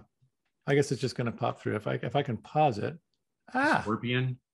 Geico commercial. this one's hilarious. What's that from? Uh, that's from a show that didn't last long on Showtime, unfortunately. Oh, Dang it. I want to stop. It's not letting me stop you. All right. Let me. This is hilarious. Ah, how do I go back? Look at that mustache. Oh, no mustache there. Your your website is not letting me pause. There's a pause button. I'm sorry, I don't I don't know how that works. Uh-huh. All right. Well, let's let's sit there. So this is community. Hilarious scene Yep, between community. what's that from? This is from a commercial for Okay. uh, with the guy from Hamilton. That's Modern from Family. Gray, or from Modern Family. That's from Bones. Modern Family. Modern Family. Uh, Grey's Anatomy. That's a great shot. That's a commercial for uh, Uber. That's that same show. It's called "I'm Dying Up Here." That's Uh, that's from Scorpion. that was you with Robert, the guy from the Terminator 2 guy. Grey's Anatomy. Shaquille O'Neal. You got to hang with Shaq. Yeah, yeah. Ring, ring phones. Grey's Anatomy. More more uh Uh, Modern Family. Oh, that's great. that's a commercial for underwear. Community. and- and that's from Long Longmire. Okay. There you go. The mustache is doing some good work for you there. And you still get more without the mustache. Yeah. All right. So there we go. Okay, so it's just a cycle. There's Yeah, other things. Cycling did. That's all I have Right. photos of. Yeah. What uh how how are things going right now? How, how's the I'm sure uh Well, has kinda has screwed COVID been good for the career, bad for the career? What's the some Well, people I was fortunate a little bit on COVID just because I had some commercials that I shot before COVID that ended up running longer because of COVID and their inability to shoot more more commercials. So, I mean, in that little sense, it was somewhat okay for me. I'm, you know, not very good for a lot of my friends. Uh, very bad time actually, but uh, overall, uh, coming back from COVID, things are starting to pick up a little bit. Um, you know, I just I did a commercial recently that didn't run very long, but it was there, and you know, some things come back up. I actually recently uh, recovering from a minor surgery on my spine, so I was kind of out of the game for a little while. that, well, you only told me a little bit about this. Oh. Dude. Like I had a hesitant, you know, ah, no, I don't want to die. yes, no. Oh shoot. yeah, things are good. I mean, it's I feel like I'm at a place in my career uh, where I obviously want to work more. Everybody does all the time, and but um, I've you know, I, am kind of uh, known. I don't mean by the public necessarily, but by some people in the industry, and and I, I've kind of reached a weird place. I guess it happens naturally if you stay here long enough, where people sort of are happy you're you're around, and uh, glad to have you show up. And uh, and I've been here long enough to have a really great community of of fellow actors and friends, and it's it's been good. It's a I'm in an all right time. You know, I'm knock on wood. You That's know, great. All right, I'm gonna. Uh, here's what I'm gonna do. I'm gonna end the way we began with. I have ten more questions for you, Okay. and then we're gonna watch this your comedy reel, and we can stop and talk through that. But we'll just we'll see if that gets past the censors later on. But we don't have to do that. So, all right. Here's my last ten questions for you, Steve. Um, what was the last book that you read? Uh, Man in the Van, I believe, was the last book I wrote. It's Yeah. by uh, uh, uh, the lead singer of the Mountain Goats, John Darnielle. Oh, yeah. yeah. He wrote he wrote Man in the Van. He wrote another book recently. I picked it up. I haven't read it yet though. I don't think I have it. He's like looking off somewhere in the distance. Ah, there's a bookcase over there. I know it. uh, what was the last movie you watched? Um, last movie I watched, shoot, I probably watched something. I've been, you know, during the, it's embarrassing, not embarrassing, but it's kind of a funny. During my time with this uh, surgery uh, thing, which was, don't know when to get into it, it's no big deal. But I had a bunch of time just sitting on my butt, and I have never uh, been like into the Marvel movie. I've never watched the Marvel movies, so I watched like 27 Marvel movies. Oh, well, like, there you go. In a row, you know, starting with Iron Man. They have it listed there on the Disney thing where they in the storyline order. Yeah, you So, did I it. mean, I don't know if that's the last movie I, but I watched about 800 hours of Marvel movies recently, and I'm And- done. I don't and- need to see the new Doctor Strange thing, or I'm good. I'm good for a while. Did, does it? Does it? Uh, well, you stayed with it, so clearly it was it was working for you. Uh, for I a- was on a lot of painkillers. no, it was fun for that, Yeah. for what it is. You know, when you have nothing else to do and you're just trying to be in. Again, it's all comes down to just entertainment. You know. What's fascinating to me those those you know I've ne- my brother is totally uh, uh he grew up reading comic books and he knew all those people and so even now he just loves he he you know he loves seeing all the references of such and such that shows up he he he you know it, it connects with his childhood his nostalgia his and he mm-hmm. loves what they're doing with it i didn't and so what i see is the same formula over and over and over again becomes more evident when you watch them in a row. I'll bet. So it never changes. So like within that formula, you know, they do different things in some of the movies. Like Ragnarok is really fun, and there's some great stuff. And but and I've only seen maybe five of them, but I'm like you know, even my son would be like, okay, there's going to be a big fight. And we think he's going to lose, but he's going to win. And it's just, you know, you can only do that so many times where it just get to me, it just Well, someone else has an Iron Man suit now. Yeah, All right. Sure, he has an Iron Man suit. Sure, you have an Iron Man. Hey, you want an Iron Man suit? Sure, yeah. I have an And it- Iron Man suit It's now. funny because was it Coppola or one of the or Scorsese kind of talked about it not being Oh, right. real cinema, and they got they got how Yeah, dare right. you say this isn't people real? love them, you know. Yeah. And again, it, whatever. Again, it comes down to entertaining. Entertaining is key to me. That's the goal. Yeah. And if people are entertained by it, but I just feel like it's it gets really old really fast. you know, Yeah. me, mm. but I'm not.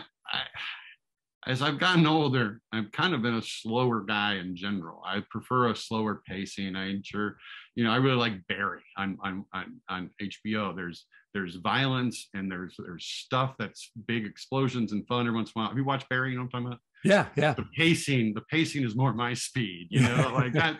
I like that kind of pacing. You know, Ozark, that kind of pacing is where I'm at. Right, right. Then when we go back to the video games, like I can't do the shooters. It's too much. Why are you all trying to kill me constantly? It's too much. it's too Single much. person shoot. I'm like, God damn. you know, I want to be like, hey man, what's going on over here? Hey, I want to, I want to, feel, I want to feel a rock. I want to feel a rock. I want to feel a rock and just be like, whoa, all right. All right. Uh, last album you listened to?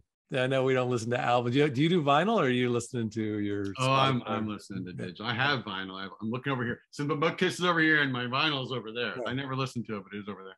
Uh, boy, I tell you, I just listen to the same music over and over again. I, earlier today, I was listening to uh, Live in London, Leonard Cohen. That's probably one of my favorite. You've been a Leonard Cohen fan since the Day one, man. Yeah, Day you- one. yeah. I can't Yeah, you stop got him. you actually turned me on to him. I, I I've turned a lot of people on to Leonard Cohen. I'm Yeah. proud to say. Yeah. Uh, so yeah, What's your favorite type of foreign food? uh, sushi, Nice. What kitchen appliance do you use every day? coffee maker. Not- okay, good enough. Kitchen appliance. That works. Are you Microwave. are you clean or a messy person? I am a ti- I tidy, but things are like I don't deep clean very well. I have to rely on uh, either uh, paid people or, or people that I live with. I, I, I keep things very good. I'm a good dishwasher and and resetting the pillows on the couch guy. Uh, but when it comes to like deep cleaning, Yeah. it's like you know, here's the Right. We we we're, we're on the we're on the same page. I'm, I'm I'm exactly that person. Are you a morning person or a night owl? Uh, I've become a morning person. I've become Yeah. a morning person. I really enjoy uh, my my partner, my girlfriend. She she sleeps in longer than me, and I, I kind of enjoy it. I, I like to get up in the morning, have a cup of coffee, you know, and check out the news. And I agree. It's know, like uh, for a all these years of like my wife's a morning person and I'm I'm getting I had to become one having kids, but you know, you just there's a certain point. Back in the day, you were doing theater, you were going out, you were engaging, you were partying, you were you know, it was all about all the artistic stuff. And so those late nights were very active. But then you get older and you're like just sitting around watching TV late at night and everyone else is in bed. And but waking up, you're like, you've got this all this new energy of the day. I, I- it's so Yeah. much, it's so much better to yeah, make the yeah, switch. totally, totally. Uh, I- for sure. is your glass half full or half empty? Are you? Oh, it's half full. It's half full. I think it has to be. If it's half empty, I would have been out of the business a long time ago. I mean, the, this entire town is run on on hope and optimism. and on, on, on just on, on, uh, on what am I trying to say? Sometimes dreams, hope- dreams that don't come true. You know, Right, right, exactly. It's what the whole. You have to be uh, completely living in just a, a suspended disbelief at all times. All right, my last two questions. What's your proudest accomplishment? Wow, It's getting deeper. proudest accomplishment. I mean, being got it sounds I can't even being being where I am now. I mean, honestly, getting to a point in my career where I finally, even if the work isn't good, even the work isn't plentiful, when I do it, I feel confident and relaxed and in place that I feel like this is where I I mean belong. I've always felt like I always belong there, but it takes a while to get to that point where it's like I am this is what I am and do, Yeah. you know. That's great. it feels very good to be there. I wish I worked more, but it doesn't matter in a weird way. It's it's who I am. It's what I am. And you- you found the balance too. You found that other thing with your woodworking and such. I mean, that that was the one thing I never had. I only, I, I only have this now partly because I, you know, I, I'm pretty much out of the acting game. I've, I do a play every once in a while, but, um, you know, for the first time in my life, I have complete control over my creative projects, and I don't mm-hmm. have that thing that you have with woodworking. But I, but I always put so much energy into other people making the decision of whether I could work or not. And I never had that other thing to kind of balance that. And so it was a real, it really messed with me as it does so many people.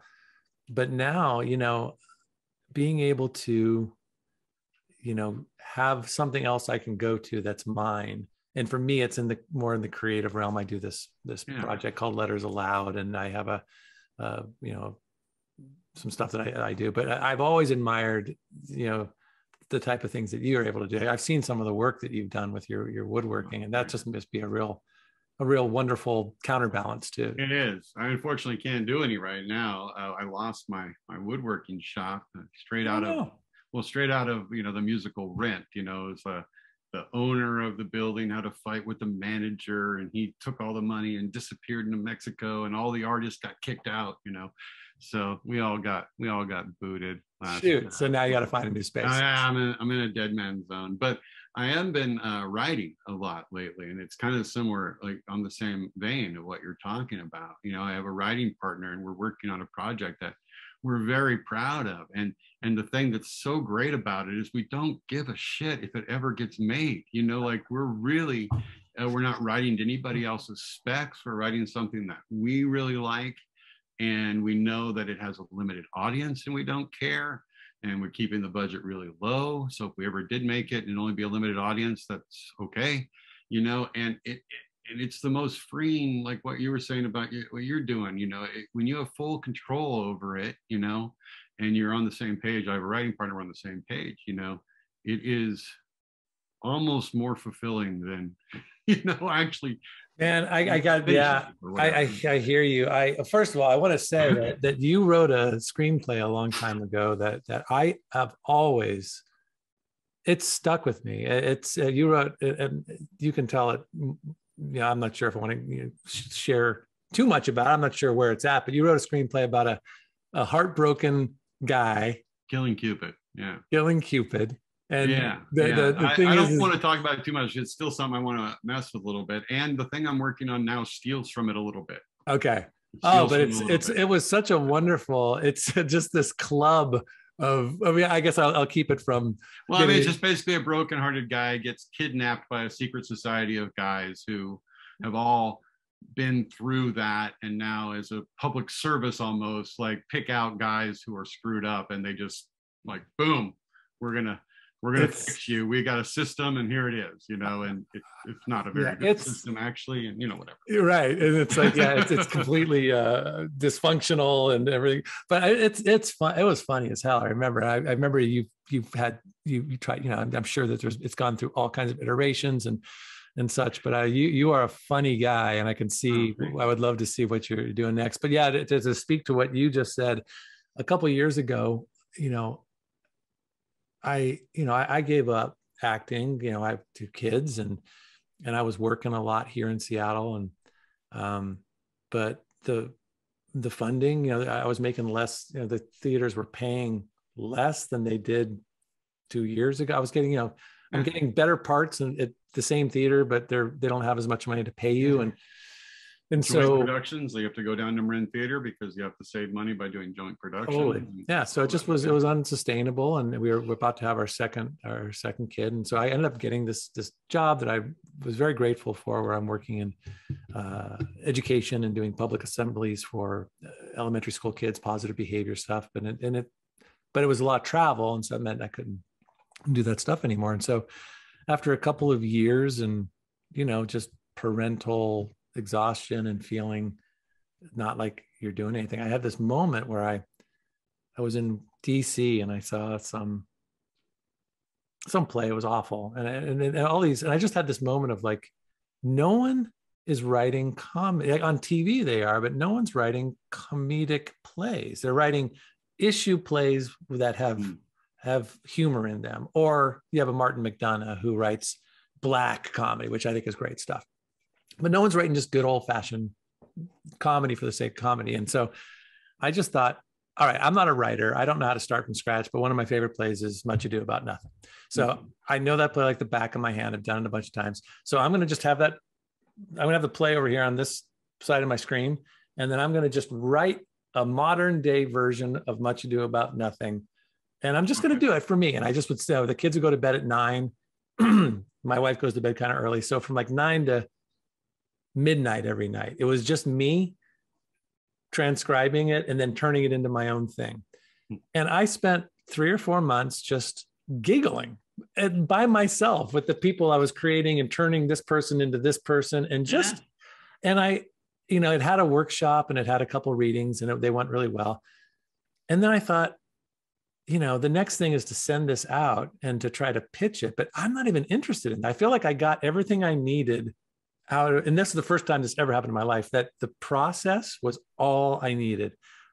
I didn't care so much about look at this, look at this, watch this, please produce this. I got so much out of just doing it, you know, and I wish I had known that a little earlier in my in my career, you know. Well, we, we don't we all. I mean, I feel like that's the lesson you you can't learn until you've done it for a while and been lived long enough to realize it. You know, I mean, that's kind of what I was saying earlier. To get to a point where I understand, you know, and and you have that fluidity, and and it feels you know, I get what you're saying about the writing. I know there's times where every script I've ever uh, tried to write, you know, there's there's a moment where I'm just by myself, just giggling my butt off, like you know, uh, and just going like, and you know, you've got to revise it. You know, this isn't going to work out in the long run. You know, this is going to need tightening or whatever. But in the moment, you're writing stuff you know you're going to cut later, but it's hilarious and you're having fun and you're just going and you're riffing and your girlfriend's like, "What are you doing in there?" And you're like, "I'm writing the worst screenplay ever. It's fantastic," you know. And and that's yeah, yeah. And I also think that I think that I don't know about your experience, but in LA, you know, you spend all this time, like I said earlier, hope, hope, hope, and yeah, I'm going to write this screenplay. I want to get it made. And that wall starts to become so annoying that you keep bumping up against that part of you. It, it, it, it that becomes a catalyst for you to figure out that if I just write it for myself and enjoy the actual process of writing, I'm going to Yeah. get a lot out of this, even if I never, you know, get it to be on there. Yeah, and if the if the pro there should be some semblance of like I feel like I did the opposite where I just put it in a folder and I, and I just you know broke it out recently. I'm like, well, I probably you know I I it's I still like it and I I should probably put some energy into reaching out to people, but but yeah, it's like find the right balance between like okay, you know, have a system in place where you're going to get it out. You're going to just Mhm. have it go out there and maybe someone will find it and take it, but but that's not the point. The point is to keep creating. I don't know. It- It's I uh, don't know how to do that thing. I've given up over. I don't have a representation for literature. Yeah. my- I don't have a lit agent. I don't even try. Like my Greg and I, my writing partner, joke about like, what are we? How are we going to do with this when we finish? And it's like, well, we have some people we can hand it off to. You know, Yeah. that can maybe just because we've been in the business long enough. do know, a Zoom reading. yeah, I mean, I don't. I mean, you know, I, I, I- I would be shocked if it ever got made outside of me, you know, climbing this incredible mountain to get Yeah. made. And I don't know that that's what I do. I mean, Yeah. that's that's the thing. I mean, people. It's funny. There's so many people who make their own content now with all these TikToks or whatever. I sound so old with all the TikToks and the rock and roll music. but uh, I don't even know where I was going to go. I made a joke and I lost my train of thought. Uh, content. Just the sense Oh, that, that, that people always assume that if you're an actor, it means that you're also a writer and a director and everything else. And it's like, well, no. I mean, I'm an actor. I trained to be an actor. You know, writing and all that is fun, and I kind of can call myself that because I've done enough of it. But I, I don't really think of myself as that. And it, Yeah. and since I don't think of myself as that, I'm not trying to get my scripts out there necessarily. It's like a weird thing. I should. I mean, I, there should be part of me that has that uh, impetus, but I, I just uh, it's more about um, how many amazing things are out there, right? That people have created that will never be seen because there's no access to it or no. yeah, yeah. that's, That's, a kind of mind point. blowing to think about That's a that. big right? point. And people also, uh, you know, I think you've been in Hollywood. You think you get here there long enough. You that that thought process you just had, that kernel of thought, translates to the entire industry, and you sit there and go like, I know more actors that are better or as good as the people who are winning Oscars. You know, I mean, literally, not jokingly, like Yeah. literally, I know actors who are better than those who are winning Oscar. And I don't mean to be a competition like this should be him instead of them. I'm just saying that like there's a lot of content, be it written or be it performance ability or be it anything that is you're just never going to see light of day, you know, because there's just not enough jobs and there's Yeah. too many talented people. Like I, I know so many talented people who are far more talented than I am who work less than I do, you Yeah. know, and it's Yeah. just the way it is. It's such And a so. I don't get really. I mean, if somebody wanted to give me an award, I'd take it. But I don't really watch the Academy Awards and stuff and everything because it just changed at some point in my life where I just started to go like, I don't go like, oh, you know, Yeah. Brad Pitt. Isn't that weird? We used you to know. like. I remember like uh, being a kid. Of course, you were professional as a kid, but I was so like, oh, when when Dustin Hoffman won for Kramer, I was so riveted by Yeah, you know the rewards and all that. But now it's just like, God, shut up, you know? Just, yeah. And I, I these guys, I mean, I'm not taking anything away from being a movie star. I'm sure is a very difficult thing. I've never had to carry a movie. I've never had No. to do anything like that. I show up, make funny faces, and go away. You know, I, I respect the hell of it. I just meant that like you're only seeing a small, very, very small drop of the potential talent in Hollywood on in, on the screen at any given time. Any given and, time. and it's Yeah. hard for me to then elevate those people because I go, great, they've been very fortunate and they're maybe better than me, which is Yeah. fine. I've come to that reality too, and, and that's fine. And they're better than me and they should be rewarded and everything. But I also went and saw a stage reading the other day where my friend John blew my mind, you know, and John can't get an agent. Yeah. So Yeah. No, that's I remember that. yeah. Well, let's uh, let's watch your uh, let's watch your reel and see. Uh, speaking of here. blowing people's yeah, you're gonna let's talk. Speaking of, exactly. Wait, what kind of excuses do I need to make before this reel? No, this is good stuff, man. This is- Uh, let me let me find you here. You here? Okay. Yeah. Wow. Hi. Modern Family. My lucky day. Thank you for that, but I'm afraid I'm taken. It's too bad. Why is it so hard for me to meet someone? I, um, I have the perfect guy for you. He has a great sense of humor, big heart. I have a thing for redheads. He's with me, uh, the other one. Him, pass. He's been lurking around here for weeks. Like I'm impressed he's Southern California's number one realtor. No, he's not. All right, so let's stop. So the so he's trying to pawn you off on a guy that Yeah, I always forget that guy's name. He's a great actor, guy, comedian. Uh, anyway, he's the guest star. Him. So uh, that other guy and and Ty Burrell's character are rivals. You know, and and then so they're at a gay bar. They were on their way to Palm Springs, and I don't remember the characters' names, but he wanted to stop by the gay bar he used to go to. And Ty Burrell's character, who isn't gay, is like, "I'm game, like I'm your your brother, and we're gonna go do this."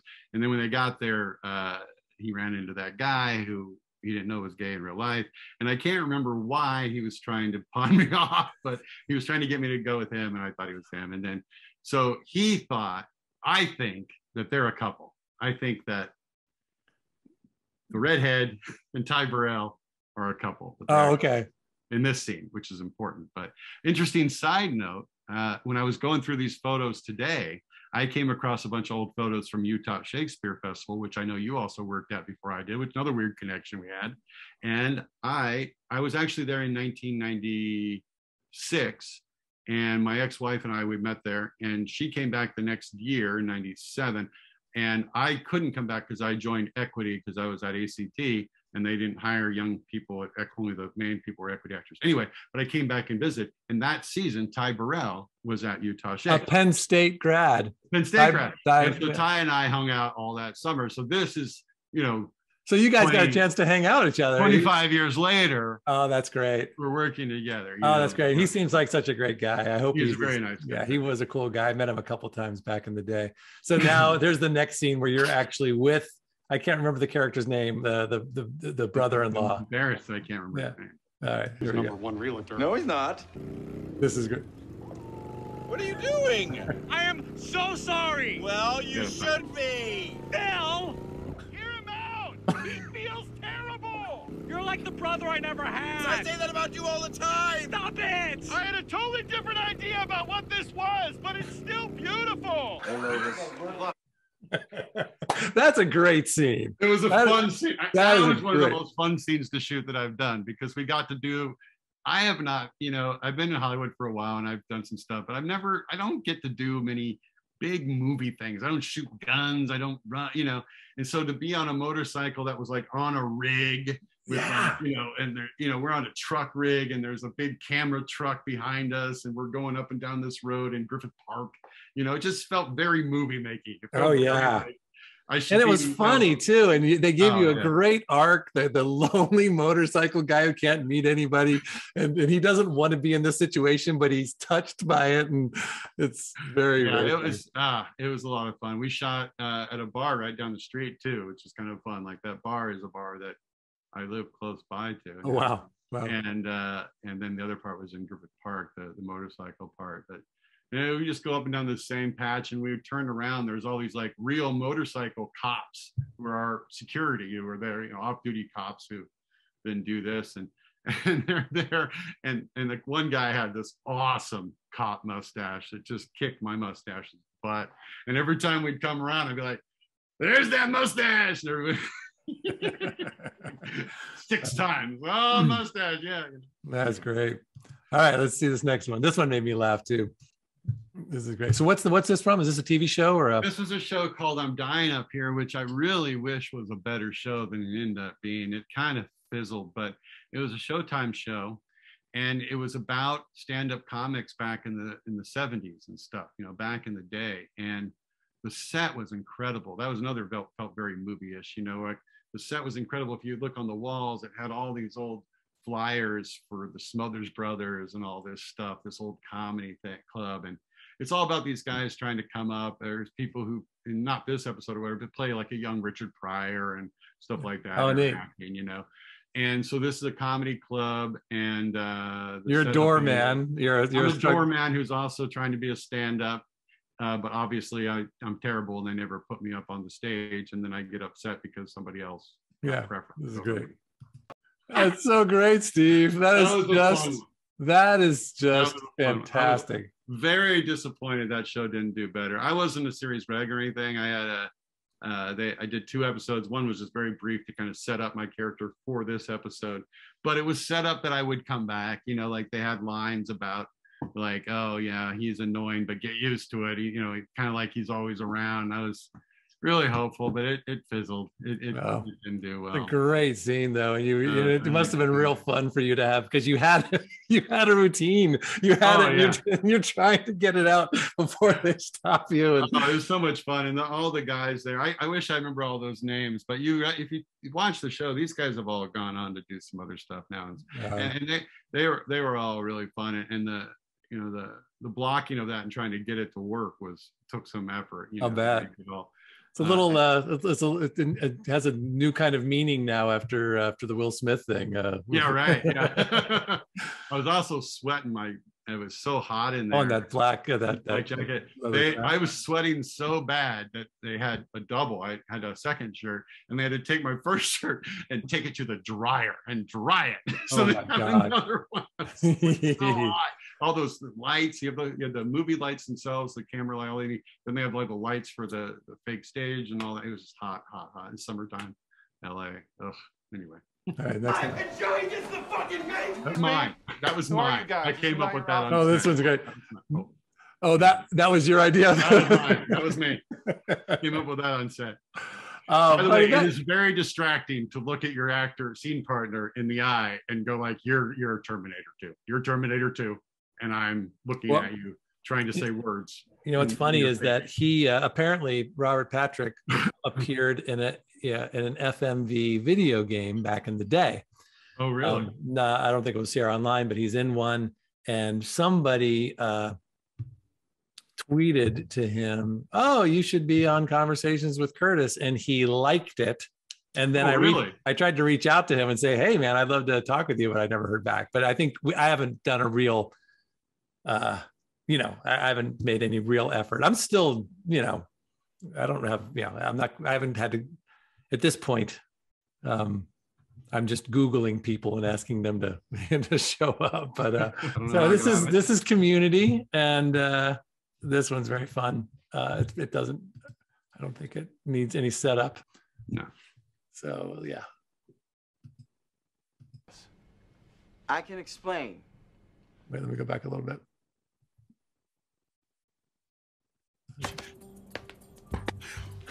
Excuse me. Who are you guys? This is not your office. I can explain.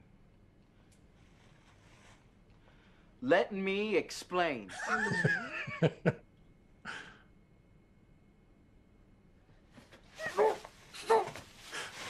this, li- this little person. oh, so so what happens is what happens is she chloroforms you, and then they freak out and they realize they've done this horrible thing, and so they decide that they're all going to lay down and pretend like they were all chloroformed, right? Yeah, it's um, it's uh, what's his name? The guy who. The, uh, Donald Glover. no, the other guy's idea, I think. I Curtis, can't remember his idea. What the idea is, maybe it is Donald Glover. Yeah, they just panic and they just go like, "Well, if he's knocked out, we'll all wake up and act like we all got knocked out." Okay, But so they don't. They don't think about the fact that Alison Brie's character was not there when I got, you know. so. All right. Oh, what's happening? Oh, we all got chloroformed. Somebody chloroformed all of us. and now we're regaining consciousness together. I don't understand. Who is she? Why is she holding a rag? Put it together. the eyebrows makes the scene. The eyebrows. Yeah, some good eyebrow stuff. Oh, it's great stuff, Steve. And it's just really, really fun. It's so fun to watch you. Uh, do Speaking your- of the Marvel thing. movies, I had no idea until I put it together recently, but the, the Russo brothers directed that episode of Community. Oh, really? Yeah, the Russo brothers who now make all the big movies. Uh, Well, if anybody's watching this video and you didn't get a chance to, and I, this got, I'll edit it out. Like I said before, I will make sure Steve's reel is is in the the comments or in the in the description, so you guys you have to check it out. It's really fun stuff. Uh, buddy, I just took up two of your hours, and it, it felt it just felt like it flew by. Thank you so Yeah. much, man, for Yeah. for taking some time. I had a lot of fun. It was good to talk about. I haven't talked about these things in a long time. You know, these old things that had gone through those photos and forever to to find those for you. It was just a great experience. I'm glad Yeah. that people care about this and they want to learn more. Me too. Me too. Yeah. Um, and let's. I hope this is a. I hope this opens the door to us keeping in touch a little bit more. It's Well, it's sure, it- yeah. But you know, man, it's like uh, it's one of those things where time does get warped and strange because we hadn't Yeah. seen each other in a long time. But I just, you know, I have such a connection to you, and you just feel like, you know, I I, I don't see you, and then I do, and it's we're right back to where we were. You know. Absolutely, man. Yeah. We should definitely uh, stay in touch. It's harder now with family and everything, but Yeah. make it happen, man. That sounds good. All right, Steve. Well, thanks so much, buddy. And uh, Yeah. I'll I'll talk to you soon. I'll let you know when this thing is going to air. And what we do usually is we'll I record this, put it together with just a teeny bit of teeny bit of editing, uh, and then I will set it as a YouTube premiere. And so I'll let you know when that is. And so what'll happen is people can join. Uh, you can let anybody you want, you know, if you want to invite people, but we'll do like a, a premiere like on a Sunday afternoon. People will join, they can chat during it. You and I can chat Oh, during it. interesting. And Okay. it's and then once it's gone through its whole viewing, then it becomes available for people to watch as they will. But but the premiere is its own thing. It's pretty fun. So yeah, so I'll let I'll I let you didn't know that when was a thing. So yeah, cool. well, you know, if you, you know, I'm, I'm a big time YouTuber, so uh, Hey, man. There's no reason Right you would on. know this. Yeah, I don't know. I don't know how these things work days with their rock and roll music and their And their being on, TikToks. being on my lawn with their tiki talks and Insta photos with their Right. face Facebooks. Anyway, pleasure, Pleasure, pleasure. Steve. Man. Thanks, buddy. Talk to you soon. Thank you, man. All right. Talk to Bye, you Steve. Yeah. Bye bye. Okay. Well, that was my interview with Steven W. Bailey, my old friend from uh, Seattle back in the day. What a great guy. God, that was fun. Um, so cool to catch up with him. Um, he had so many great stories. I hope you enjoyed it. And uh, if you did, please make sure you uh, like and subscribe to our channel. Please spread the word. Make sure people know about this that might not know about it right now. And um, and stay tuned for um, V Joy Lee will be my next guest. So we'll follow up with from Cyrus to Harriet. Thanks everyone, and I will see you next time. All right, take care. Bye.